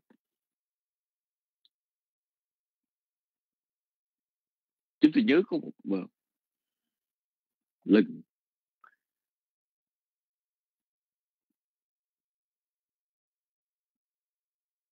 khi mà sống với ngài tịnh sự đó, thì ngài có một ờ, một việc mà ngài sai làm mà chúng tôi rất là chán. Đó là tô màu cái, gọi là cái bản nêu chi pháp. Ở trong giáo trình ờ, mà từ từ từ siêu đang dạy nên giáo trình toán yếu, thành ra chúng ta ít có xài đến cái bản nêu chi pháp. Nhưng mà nếu quý vị nào có học giáo trình trước đó thì chúng ta có cái bằng uh, ờ, chúng tôi gọi là cái biểu đồ chư pháp Thế trong biểu đồ chư pháp thưa quý vị mỗi một pháp đó nó có một cái khoanh tròn. Ví dụ như tâm thì có 128 khoanh tròn 121 khoanh tròn. Ờ, thủ tránh của tâm thì có 52 sắc pháp có 28 liên bằng ví dụ vậy. Và khi mà chúng tôi học với ngài tịnh sự đó như là đầu đề tam đầu đề gì như đầu, ờ, mỗi một cái đầu đề như vậy đó thì ngài bắt tô vào. Dạ, Và ví dụ như là thiện tất cả bất thiện tất cả pháp vô kiến thì tô vào tô vào trắng thì tô vào xong đó là thành một tập sách. Và chúng tôi thưa quý vị rằng ở trong cuộc đời chúng tôi chưa bao giờ mà đi đâu mà thấy ai dạy Phật pháp mà một quyển sách mà nó còn hơn cả cái mật mã nữa. Toàn là những cái vòng tròn. Có một lần ờ, chúng tôi nhớ là có một anh cư sĩ từ anh Toàn. Cũng là một người ờ, học trong ngành ờ, nông lâm có trình độ đại học đó. thì anh vào chùa. Anh thấy chúng tôi đang tô màu thì chúng tôi ngồi tô màu còn ngày tịnh sư thì thưa quý vị ngày đang ngồi ngày chút với cái tâm tâm sĩ răng thì anh thấy chúng tôi tô màu anh mới nói. Anh hỏi chúng tôi thì anh hỏi rằng, sư, mấy cái nút này, nói về cái gì vậy sư? Thì ờ, anh hỏi thì chúng tôi trả lời. Chúng tôi nói cái này là cái bản điều chi pháp. Cái này là cái mình dùng miệng mình học về thắng pháp. Thì mới hỏi câu ảnh anh nói câu là vậy trong mấy cái lúc này cái đầu của mình cái nào là của người khác? Thì thực sự người đang chút tâm người ta tất cả đều nói về mình mà tất cả đều nói về thế giới này. Thì anh, anh mở mắt to rồi. So với cái lúc này mà nói về mình mà nói về cả thế giới này? Nhưng mà thật ra thì thứ vị ờ, anh cũng ngạc nhiên, nhưng mà chúng tôi thì lần đầu tiên chúng tôi nghĩ đến chuyện rất là thú vị, là tâm thuộc tánh sắc pháp, niết bàn. Tổng quan tới cái chi pháp. Và sau đạo Phật nói rằng, đó là thuộc về mỗi một cá nhân và cũng cả thế giới này. Thì cực kỳ diệu thật thật là lạ thật. Đó là lần đầu tiên chúng tôi hiểu rằng giữa cái tự thể và cái đại thể đó, nó không có khác biệt. Hiểu được trong quẩn, tức là hiểu cả thế giới này. Nói như ngày ờ, ở trên cha đó là mình nắm được một góc bền mình kéo, rồi mình kéo được mình luôn. Đơn giản như vậy. Vì vậy, những đề tài về nông quận 12 xứ 18 giới. Là tứ đế đó. Là từ tài phổ quá. Nhưng mà đặc biệt lợi lạc. Và trong sự lợi lạc này, thì chúng ta mới thấm thía rằng à tại sao mình lại học thắng pháp? Và tại sao có một sự gặp gỡ giữa thắng pháp và thiền quán? Tại sao mà giữa kinh tạng và thắng pháp lại là nhất quán. Bởi vì sao? Bởi vì tất cả đều nói về năm buổi 12 xứ 18 giới và đặc biệt là tứ đế. Chúng ta không thể biết Phật pháp mà chúng ta không biết về tứ đế. Nhưng mà nói về tứ đế đó thì thưa quý vị có nhiều khi chúng ta chỉ nói cho có nói thôi. À, khổ đế tập đế diệt đế đạo đế. Nhưng mà giáo lý tứ đế là một giáo lý bao trùm theo ngôn ngữ người sáng lợi phất đó là dấu chân của những con vật trên đất này đều đặt ở trong dấu chân voi gọi là tượng thích như thế. Tức là trong bài kinh nói về dấu chân voi. Thì tất cả giáo lý của đức phật nằm ở trong tứ đế. Là nói về những hệ lụy của thế gian cái nguyên nhân của hệ lụy. Con đường giải thoát uh, sự giải thoát và con đường giải thoát. Và nói về tứ đế thì chúng ta không thể không hiểu về bản chất thật của thế gian. Tại vì chúng ta không thể nào mà nói về tứ đế mà chúng ta không nói về khổ. Và cái khổ phải là cạt chân hạ miệng thiếu tiền thất tình mới là khổ. Mà cái khổ đó đó chính là cái cái bản chất tự nhiên của nông quẩn bản chất của pháp hành. Bản chất của hiện tượng giới. Có sanh thì có diệt. Bản chất của một cái chuỗi dây chuyền, sanh diệt diệt sanh. Mà để được hiểu cái bản chất đó, thì chúng ta không thể không hiểu về nông quẩn. Bởi vì ờ, có một lần, chúng tôi nghe một cuộc hội thoại, mà ở trong đó có một người hỏi ngài Wapalaragula là nếu mà hỏi ngài, cái phần giáo lý nào là sự tương đồng giữa nguyên thủy và đại thừa, giữa tất cả những tông phái Phật giáo, thì ngày Wapula ngài trả lời rất là nhanh. Ngài Wapula Wapula ngài nói rất là nhanh, ngài nói rằng, chính là những lời dạy về năm quận người ta nghe ngạc nhiên lắm nhưng mà quý vị nhớ không? Vị nào mà quen với giáo lý của Phật giáo Bắc truyền đó, thì không có ai không biết về kinh Bát giả. kinh Bát giả nói gì? Kinh Bát giả nói đi nó là rất là nhiều về sắc thọ tưởng hành thức. Sắc tức gì không không tức thì sắc. Rồi thọ tưởng hành thức diệt phi thị. Tức là sắc là không không là sắc. Và thọ tưởng hành thức đều là như vậy, cũng là như vậy nhưng mà có nhiều khi chúng ta cãi với nhau, chúng ta tranh luận với nhau.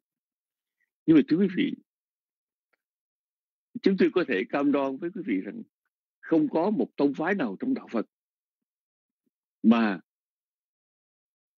cái tính ở cái tầng cao nhất mà không nói về sự thấu triệt năm quận hết. Năm quận đó là gì? Năm quận đó là sự toàn diện về sự hiện hữu chúng sinh ở trong đời này năm quận đó là toàn diện sự hiện hữu của mỗi chúng ta. Nhưng mà rồi ờ, 12 xứ. 12 xứ cho chúng ta biết về. Cái mà chúng ta gọi là nội giới và ngoại giới. Cái gì thuộc về chủ quan, cái gì thuộc về khách quan? Nội giới và ngoại giới cũng là một cách nhìn khác. Chúng ta nói về năm quẩn cũng là nói về con người, cũng nói về chúng sanh. Mà nói về 12 xứ cũng là nói về con người, cũng nói về chúng sanh. Nhưng mà trong cách nói khác. Và còn thú vị hơn nữa, lợi lạc hơn nữa. Đó là nói về 18 giới. Thứ vì khi mà chúng ta nói về 18 giới đó, thì chúng ta không những chỉ nói về chúng sanh, mà qua đó chúng ta còn thấy có một cái chiều kích khác. Giống như mình nói về hình tướng thì chúng ta nói là hình tướng có chiều ngang ờ, chiều dọc, trục tung, trục hoành nhưng mà chúng ta còn nói về thế giới 3D là thế giới ba chiều. Thì chúng ta nói về 12 xứ, chúng ta chỉ nói nội giới và ngoại giới thôi. Nhưng mà khi chúng ta nói về 18 giới đó, thì chúng ta còn hiểu biết được một chuyện nữa. Đó là không phải chỉ có tâm thức, không phải chỉ có cảnh, mà chúng ta còn tùy thuộc vào một thứ nữa. Đó là các căn tại sao các căn? Tại các căn nó hình thành bởi nhiều quá khứ. Giờ chúng ta thấy rằng mắt, tai, mũi, lưỡi, thân ý của chúng ta, nó khác với con chó, nó khác với con khỉ. Tại sao có những thứ mà con chó nó nó ăn được mà chúng ta không ăn được? Chúng thấy nó hôi. Tại sao có người này mắt, tai, mũi, lưỡi khác người kia tại vì ảnh hưởng nghiệp quá khứ hết thì vậy 18 giới đó, nó lại một lần nữa cho chúng ta biết một cái chiều kích chúng ta gọi là cái cái chiều kích của quá khứ. Nhưng mà 18 giới nó cũng mang tính toàn diện. Dù là năm quận 12 xứ 18 giới, thì đều cho chúng ta nhìn phổ quát về cuộc sống. Cuộc sống toàn diện là như vậy. Và điều này sẽ củng cố cho chúng ta niềm tin mạnh mẽ hơn khi mà chúng ta học về giáo lý tứ đế. Không học về năm quẩn 12 xứ 18 giới, chúng ta không thấy giá trị của tứ đế. Và khi mà chúng ta học về năm quẩn 12 xứ 18 giới về hiểu biết về tứ đế, thì chúng ta sẽ thấy một Phật pháp hoàn toàn khác với các tôn giáo khác. Ở đây không có cái quyền lực của thần linh, ở đây không có những sự cầu nguyện của một cái con người nhỏ nhoi. Mà ở đây chúng ta chỉ thấy một cái sự thắp sáng của trí tuệ trí tuệ thấu triệt. Và điều đó là điều quan trọng. Và điều đó là điều khiến cho Phật pháp khác với tất cả các tôn giáo khác. Và với cái học, với cái hiểu về năm quẩn 12 xứ 18 giới, chúng ta sẽ thấy giá trị thật sự của một tăng pháp, Apitam. Tại sao mà học tăng pháp? Và cái này là cái quan trọng. Cái này là cái cần thiết.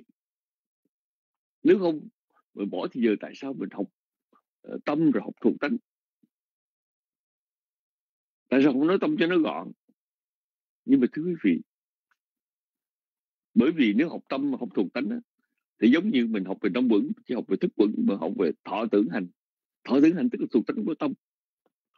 Đừng đừng nói rằng cái tâm sở hay là thuộc tánh nó là cái gì chỉ có tánh pháp. Mà thật ra thì đã được đề cập qua cái một cách đối khác là thọ quẩn tử quẩn hành quẩn. Thọ quẩn tử quẩn hành quẩn là một phần của của danh quẩn bốn quẩn và bốn nhân quẩn quẩn một phần.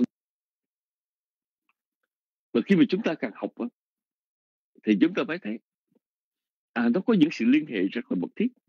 Chỉ do cách nói cách trình bày và như vậy chúng ta vững tin và cảm thấy được cái sự lợi lạc.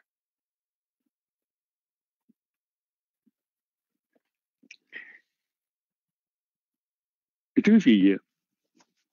đó là một vài điều chúng tôi muốn chia sẻ với quý phật tử uh, trước khi mà chư tăng đi vào phần thảo luận. Thì bây giờ thì uh, quý phật tử quan hỷ chờ chúng tôi một chút chứ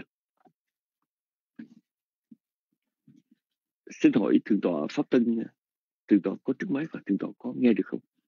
Nếu thượng tọa pháp tân nghe được xin à, thì tôi trả lời cho cuộc thảo luận yeah. Dạ thưa tổ pháp tân uh, có một số phật tử đó thì thường hay phân biệt về ờ, lý thuyết và sự thực hành và đôi khi người ta nói rằng có một cái pháp học riêng, pháp hành riêng. Nhưng mà cái cảm nhận của chúng ta khi mà chúng ta học về giáo lý tứ đế thì phải chăng rằng ở cái mức độ tận cùng là cái người mà lãnh hội trọn vẹn tứ đế cũng là lãnh hội giáo pháp của Đức Phật, cũng là người được xem là một người giác ngộ. Chúng ta đã ở điểm cao nhất của giáo lý tứ đế, có đúng như vậy chắc không? Xin cái tình thượng tọa pháp tân uh, chia sẻ một vài cái cảm nhận về điều này thỉnh thượng tọa.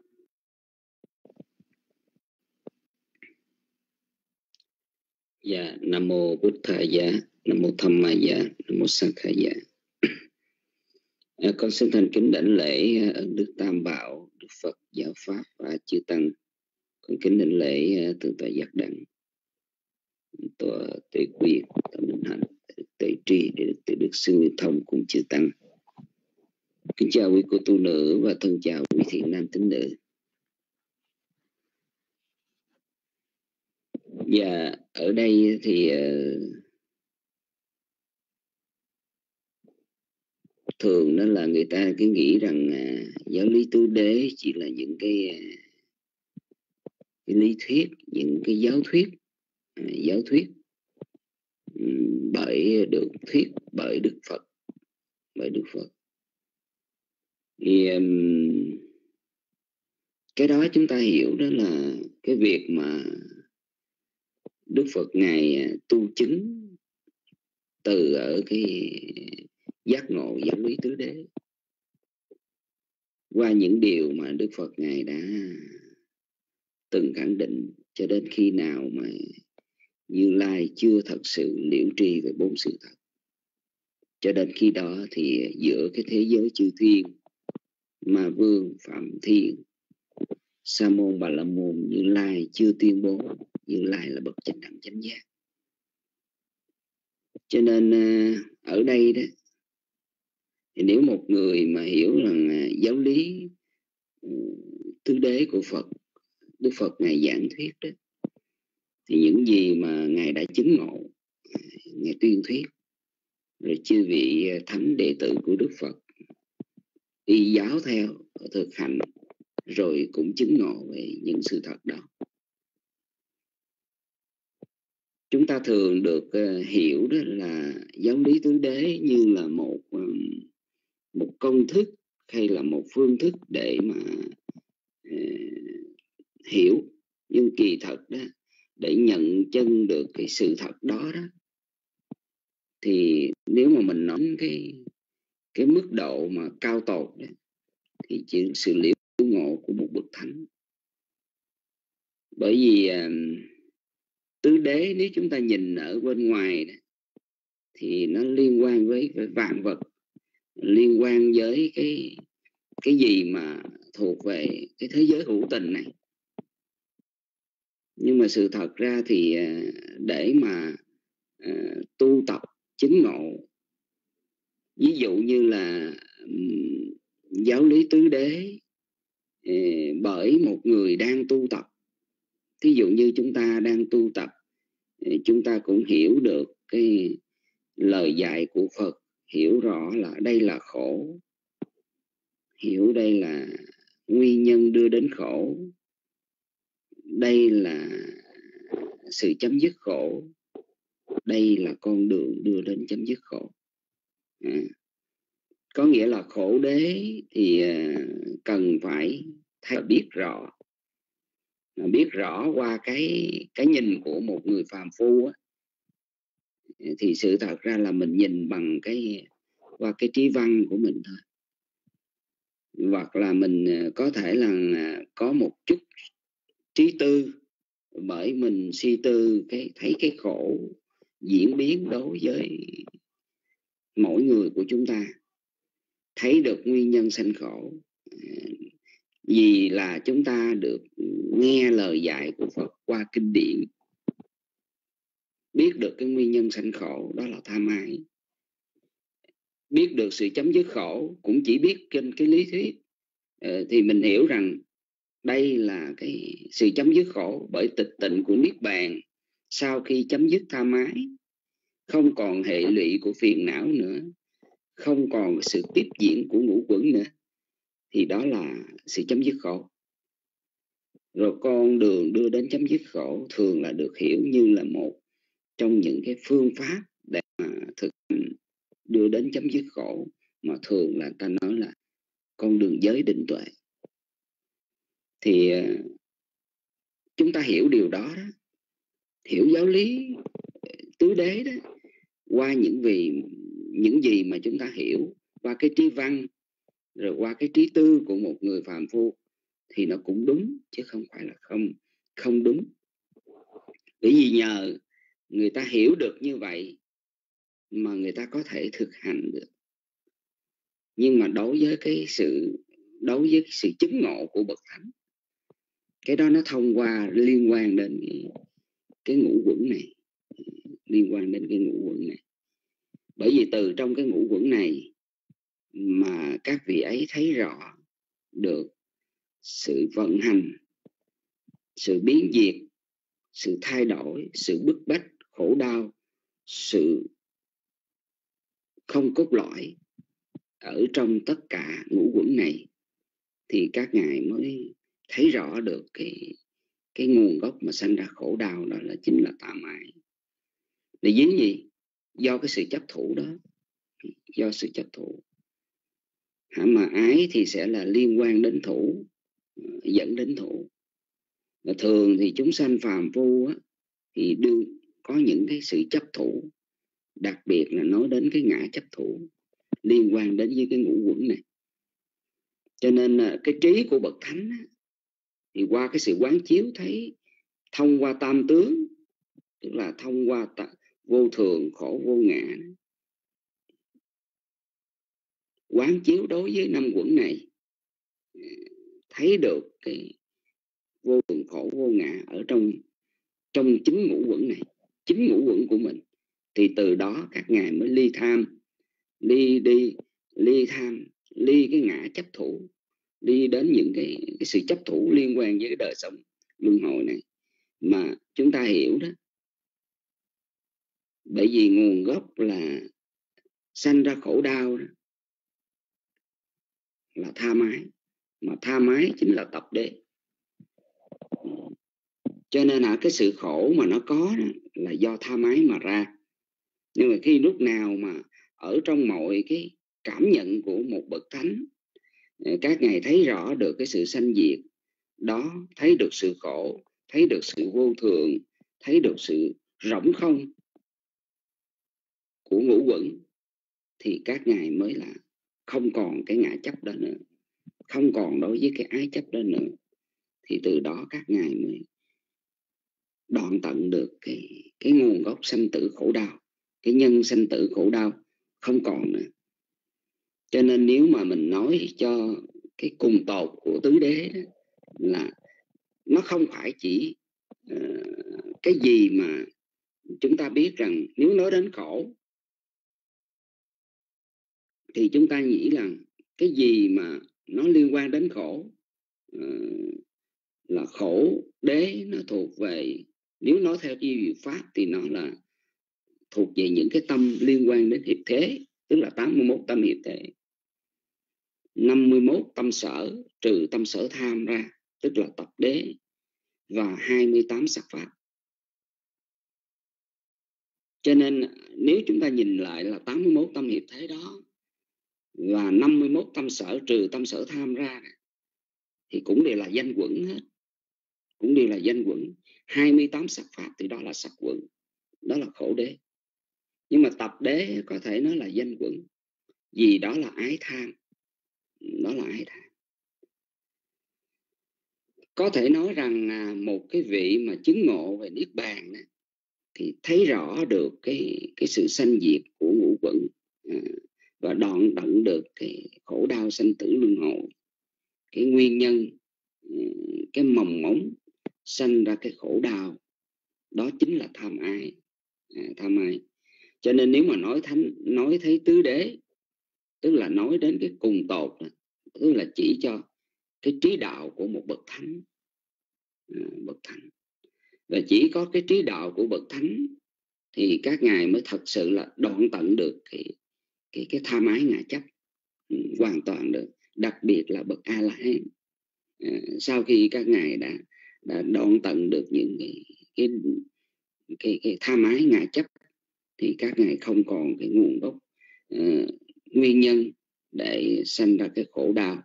Cho nên liễu ngộ về tứ đế đó thì nếu mà nói là cùng tột thì phải nói đến đó là cái trí của bậc thánh đặc biệt là trí tứ đạo.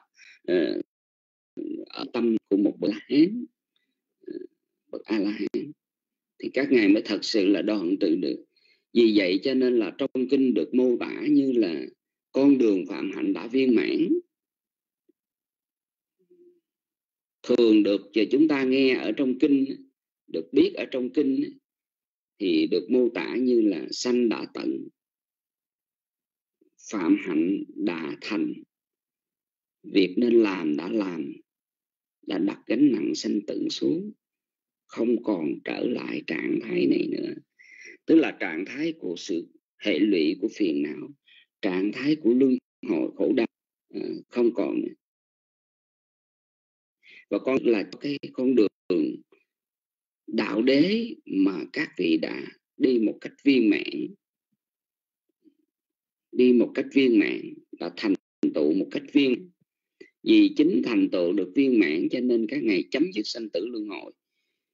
Thường là chúng ta được nghe mô tả như là một uh, trạng thái tịch tịnh uh, vắng lặng phiền não như một bậc a la hán còn toàn còn có mặt ở trong cuộc đời này tức là còn thân ngũ quẩn này.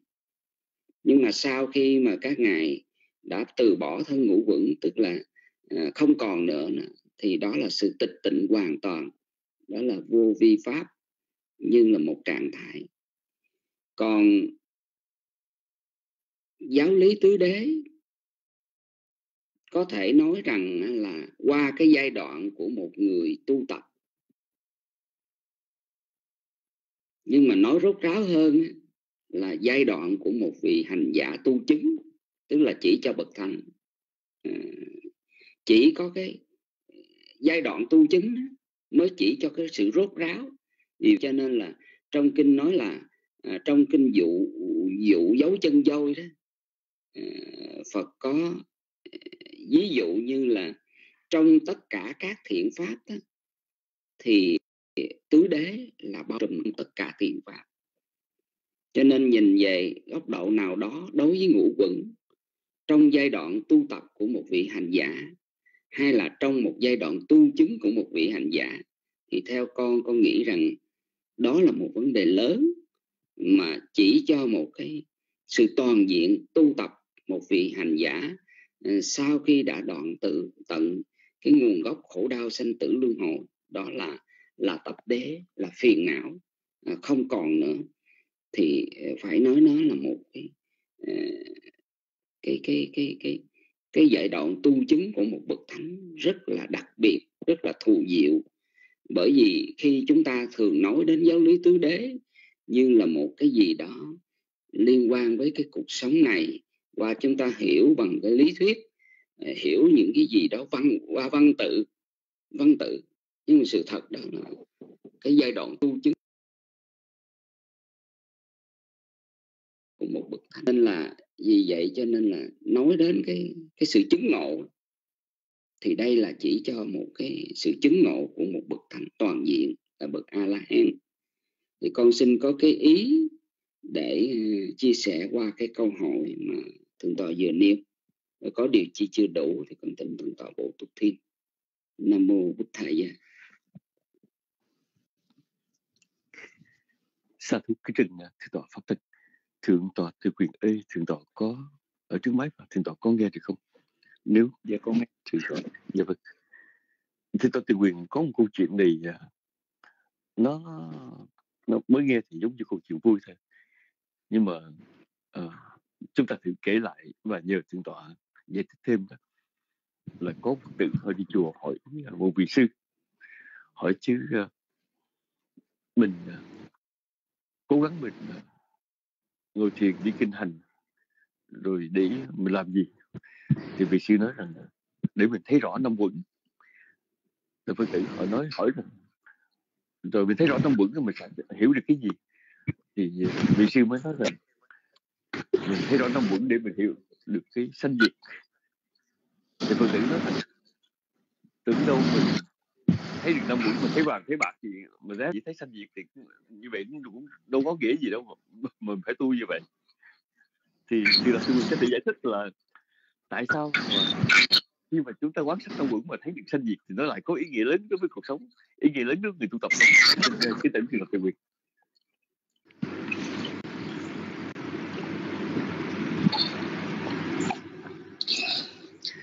Nam mô bổn thầy giá nam mô tham giá nam mô sang khai giá. Dạ quý vị nghe rõ. Dạ cảm ơn cô quan nguyện cảm ơn sự tư tri cùng đại chúng.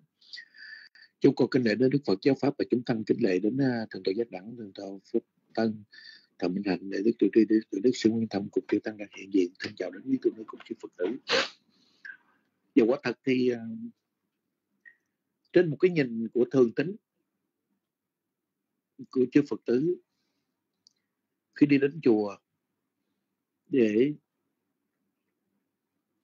để lễ Phật hay là để làm phước cúng dường gì đó vân vân thì họ chỉ nghĩ ở một cái à, một cái xuôi chiều thôi. Chính là họ muốn là họ chỉ làm cái công đức đó rồi họ sẽ đạt được những cái công đức thế này thế kia cũng như một cái sự cầu nguyện một cái sự mừng mượn hoa kính Phật để dân cúng vân vân. Nhưng mà họ nghĩ rằng như thế thì chắc chắn họ sẽ đạt được cái kết quả tốt. Hay là nghe các vị giảng thuyết hay nghe, nghe cả đến cái chuyện mà ngồi thiền thì họ suy nghĩ rằng nếu như thế thì sẽ được rất là nhiều tiền của tài sản hoặc là mình được ừ, như thế này được, như thế kia. Nhưng tại sao mà cái việc làm phước hay cái việc tu thiền thì mục đích chỉ để thấy được cái ngũ quẩn nó là vô thường của não vô ngã, hay thế từ cái sanh cái diệt? Cái nghĩa này nó tại sao như vậy? Có thể nói rằng một cái người phật tử phải có một cái à, phải có một cái cái sự thật học thật hiểu. Và có một cái cầu đầu giải thoát. Họ thấy được cái họ tự hiểu biết được cái nhàm chán đối với các pháp của thế gian.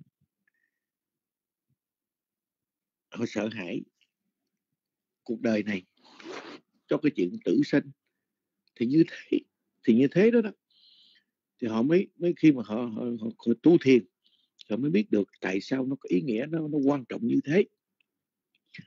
Còn những người mà bình thường thì, thì khi mà nói chúng ta nói rằng tu tập để thấy cái sanh diệt hay là tu tập để chấm dứt cái sinh tử khổ đau không có cái gì hết thì quả thật thì họ chới với ngay. Thí dụ như họ làm phước cúng dường hay là bất cứ làm một cái việc thiện gì họ cũng mong có một kết quả mà ủa sao kỳ á làm cái chuyện này rồi rốt cuộc không có cái gì hết trơn. Nhưng kính thưa quý vị cái mà không có cái gì hết nó rất là quan trọng. Bởi vì các pháp nào còn hiện hữu, các pháp nào còn hiện hữu thời các pháp đó sẽ khổ đau.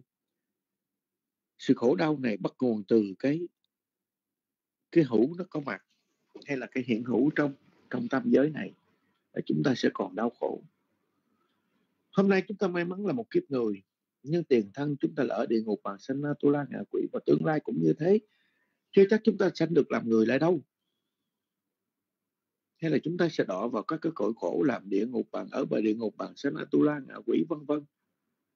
Rồi có thể chúng ta tạo nhiều phúc lành thì kiếp sau chúng ta có thể giảng sanh về cảnh giới an lành như là cõi cõi người cõi trời tiếp tục nữa cũng có. Nhưng điều cái điều này nó rất là kém nó rất là ít. Những cái người mà hiểu được cái cái điều đó nó, nó cũng rất là ít. Người ta cứ nghĩ rằng người ta chết rồi xong người ta sanh lại làm người tiếp nữa. Hay hoặc người ta được như thế này được như thế kia thì cái đó là cái cái sự suy nghĩ của chính họ. Nhưng trên tinh thần nghiệp quả nó rất là khó. Đức Phật ngài dạy ví dụ sừng bò với lông bò cái người mà sanh về thiên giới hay sanh về cái cõi vui như là sừng bò mà cái người chịu cái, cái quả khổ đau cái đọa xứ thì như là lông bò. Thì ở đây một con người mà họ hướng tâm để cầu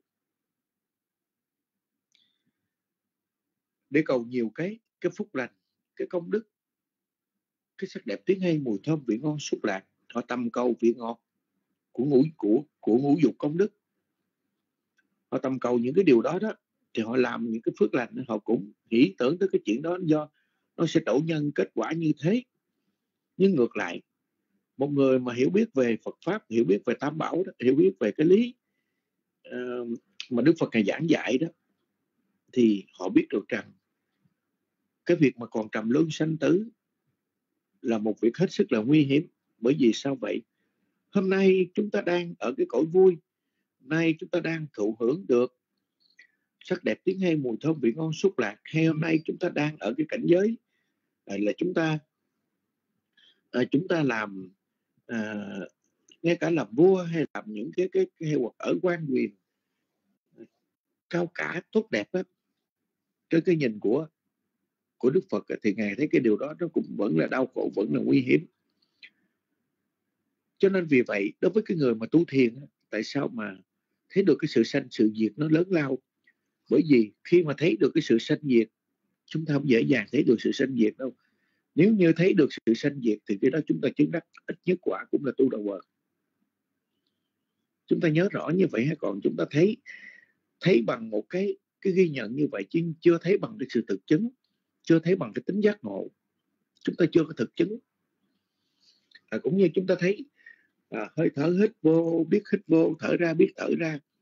Chứ sự thật ra là chúng ta chưa có có hiểu biết được cái sự sanh sanh lên của hơi thở và sự diệt, chấm dứt của hơi thở hay là của của các pháp. Hiểu biết được cái sanh, cái diệt của các pháp thì ngay khi đó là chúng ta đã đã chứng đắc thánh đạo thánh quả. Thì mục đích tại sao mà đối với cái người tu, nhất là người tu thiền, tại sao rất là ý nghĩa mà thấy được cái sự sanh diệt rất là quan trọng đối với họ, rất là lớn đối với hành giả? Là bởi vì cái đó chính là điểm, cái đó chính là mục đích, cái đó chính là cái cái điểm cuối mà họ cần đạt được.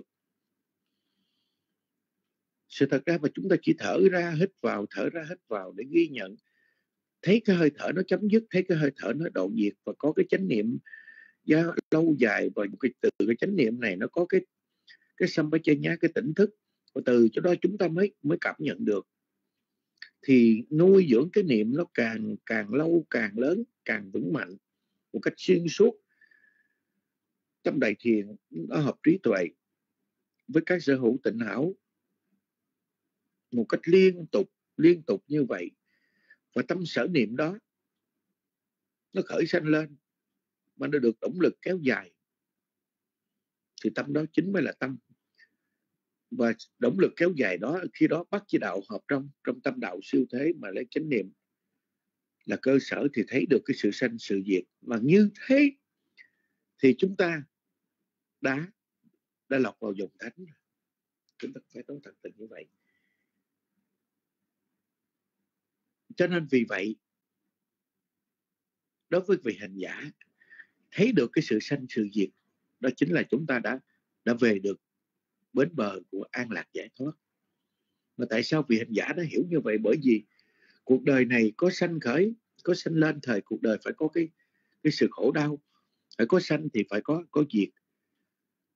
À, có còn xuất hiện trong cuộc đời này thì còn phải khổ đau. Cho nên khi chúng ta còn hiện hữu trong tam giới thì chúng ta xem như chúng ta còn đã đang luân hồi trong tam giới cái niết bàn là một trạng thái tịch tỉnh vắng lặng. Hay là cái sanh cái diệt này thấy được cái hiện tượng sanh hiện tượng diệt đối với hành giả là thấy được cái sự vô thường cái sự khổ não cái sự vô ngã của các pháp. Nghe cái đó chúng ta đã là chứng đắc thánh. Ít nhất cũng là sơ đạo. Tầng thấp nhất là tầng sơ đạo. Hay là cái tầng cao cả chính là tầng tứ đạo tứ quả. Thì như, như thế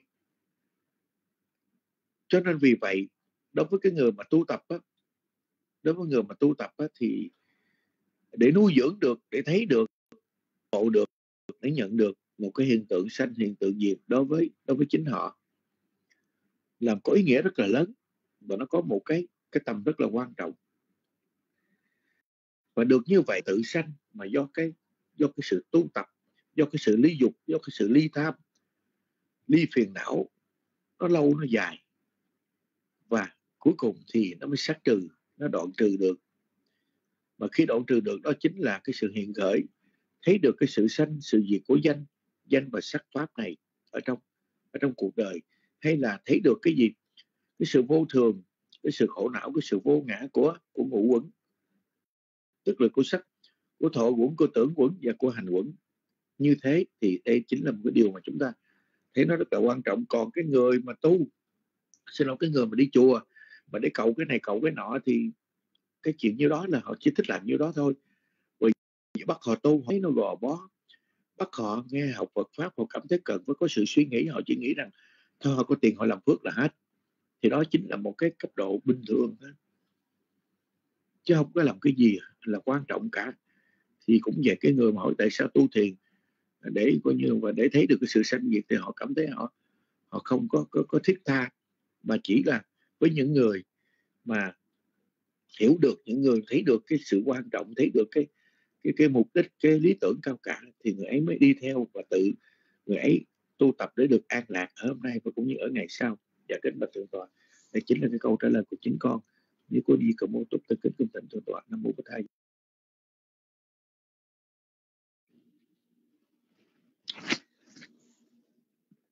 sau khi kính trình thượng tọa tuyên quyền à, thưa quý phật tử tiếp theo lời thiền tập tự quyền à, chúng tôi cũng muốn à, à, nhắc lại một câu phật ngôn mà đôi khi chúng ta đọc qua đó chúng ta không có cảm thấy thấm thiết nhưng mà khi mà gặp những cái sự việc trong đời sống rồi đó thì chúng ta sẽ thấy được rằng những điều đó có một ý nghĩa đặc biệt.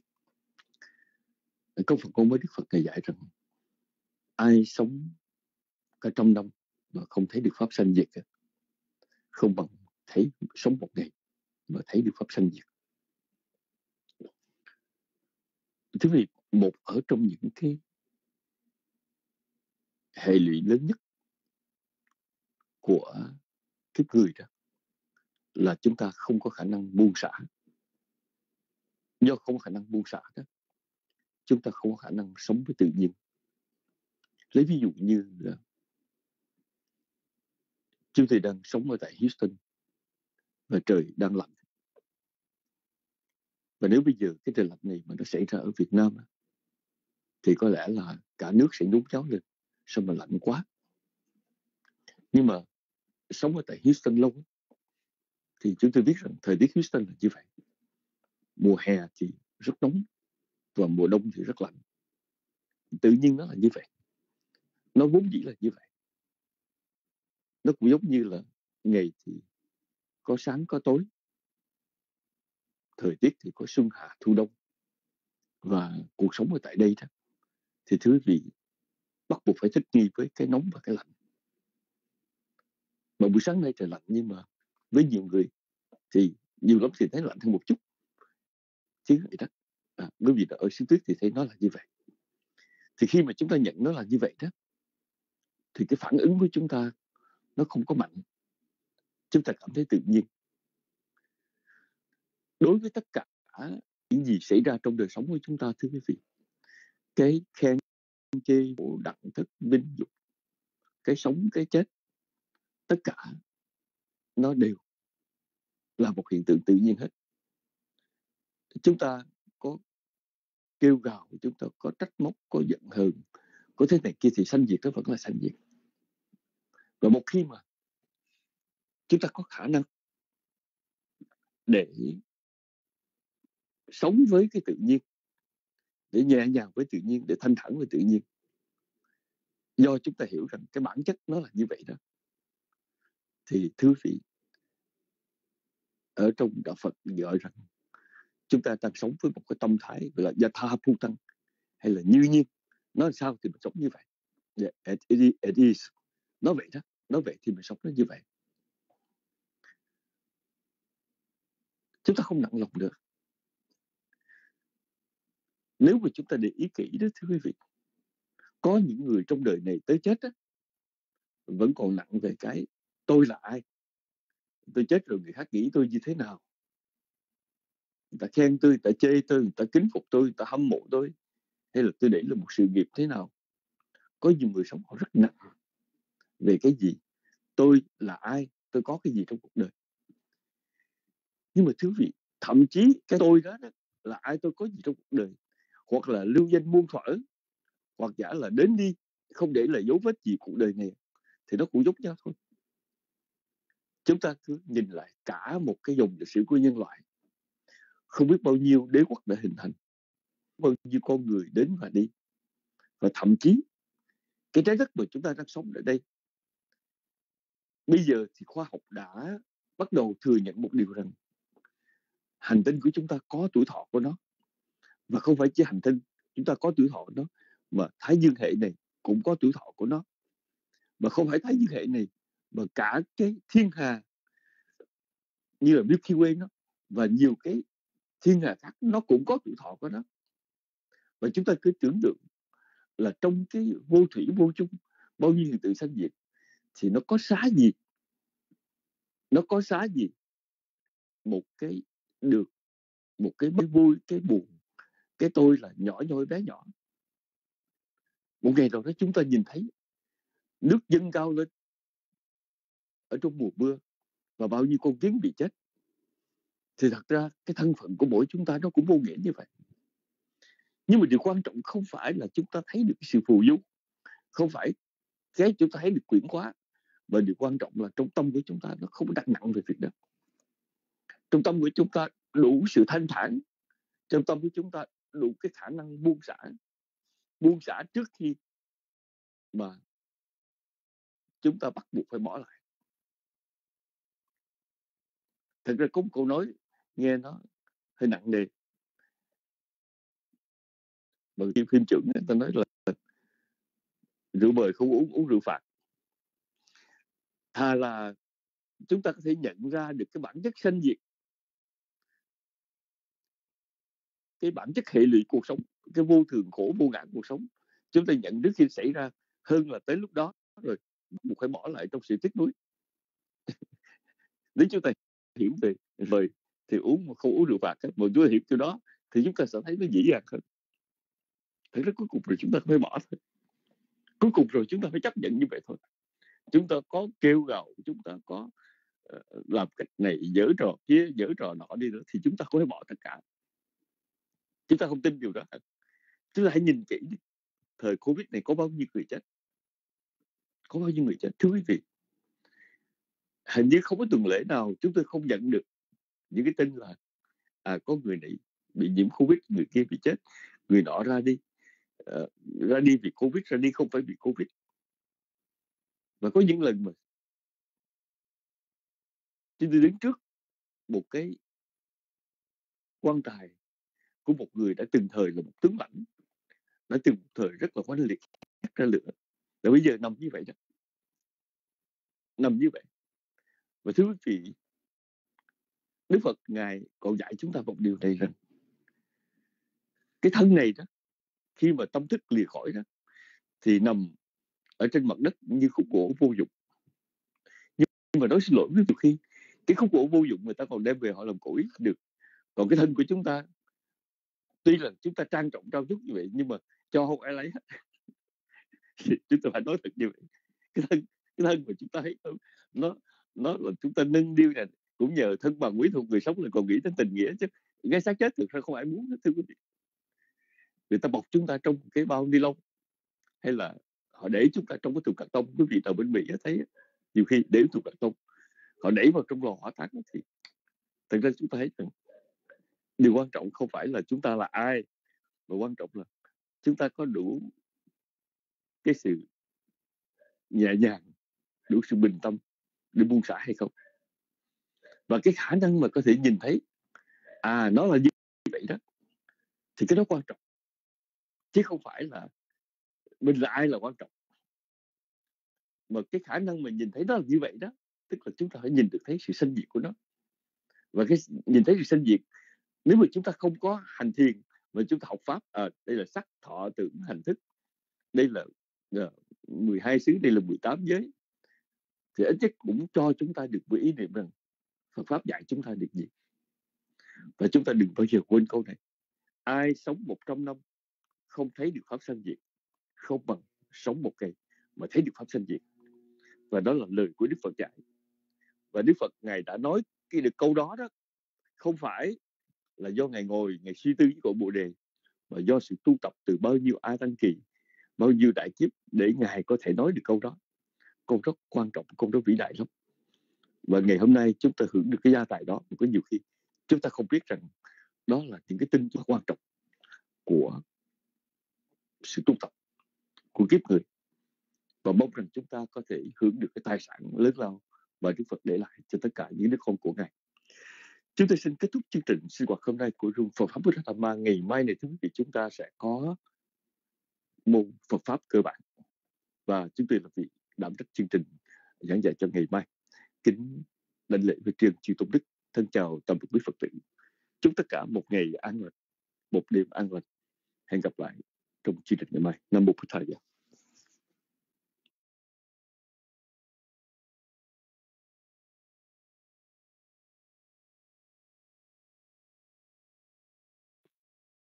Sư Tố lần tay chúng con thành kính uh, tri ân thượng tọa giác đẳng.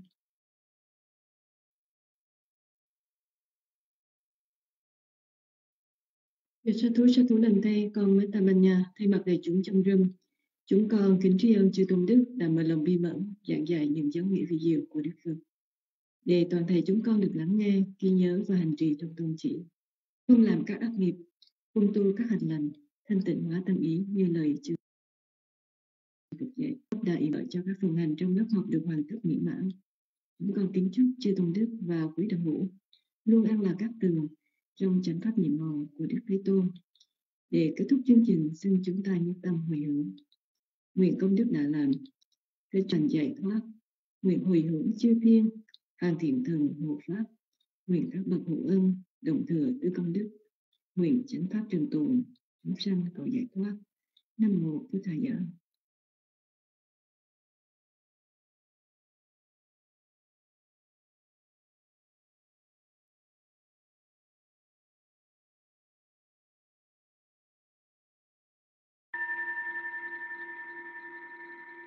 Kinchiku salakamang kapapagiriyam mamakayena vaja manasa didase sukatang katang yesa tasanyino ati yeya santa asanyino katang punya palang mayan sapi pagi pawantu te yetang katang suwilidang genang punya palang maya yeja tatang นวาจามนัสสะดิดาเสสุขตังกตังยิสัตตาสัญญิโนอาติเยยสัตตาสัญญิโนกตังบุญญพลังมายันสัพเพภากิภวันตุเตเยตังกตังสุริตังเยนังบุญญพลังมายาเยจตาธนจานันติเดวะจันตวาริเมกยุมสัพเพโลกัมพิเยสัตตาจีวันตาหารเนตุกามนุญญังโคจนังสัพเพสัพพันตุมังคิลปาติ con xin hồi hướng phước lành là khắp cùng pháp giới chúng sanh gọi dừng mẹ cha thầy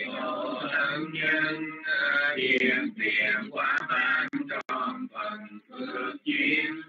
Cầu xin hộ pháp chư thiên phát tâm hoan hỷ bao truyền cận xa.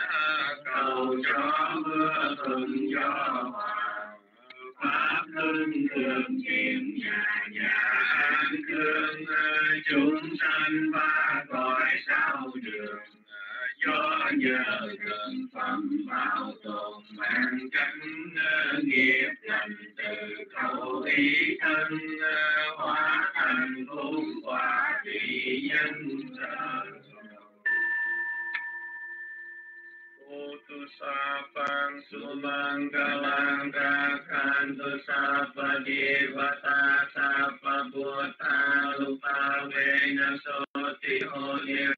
Dataranku, sabar, ku manalah datang.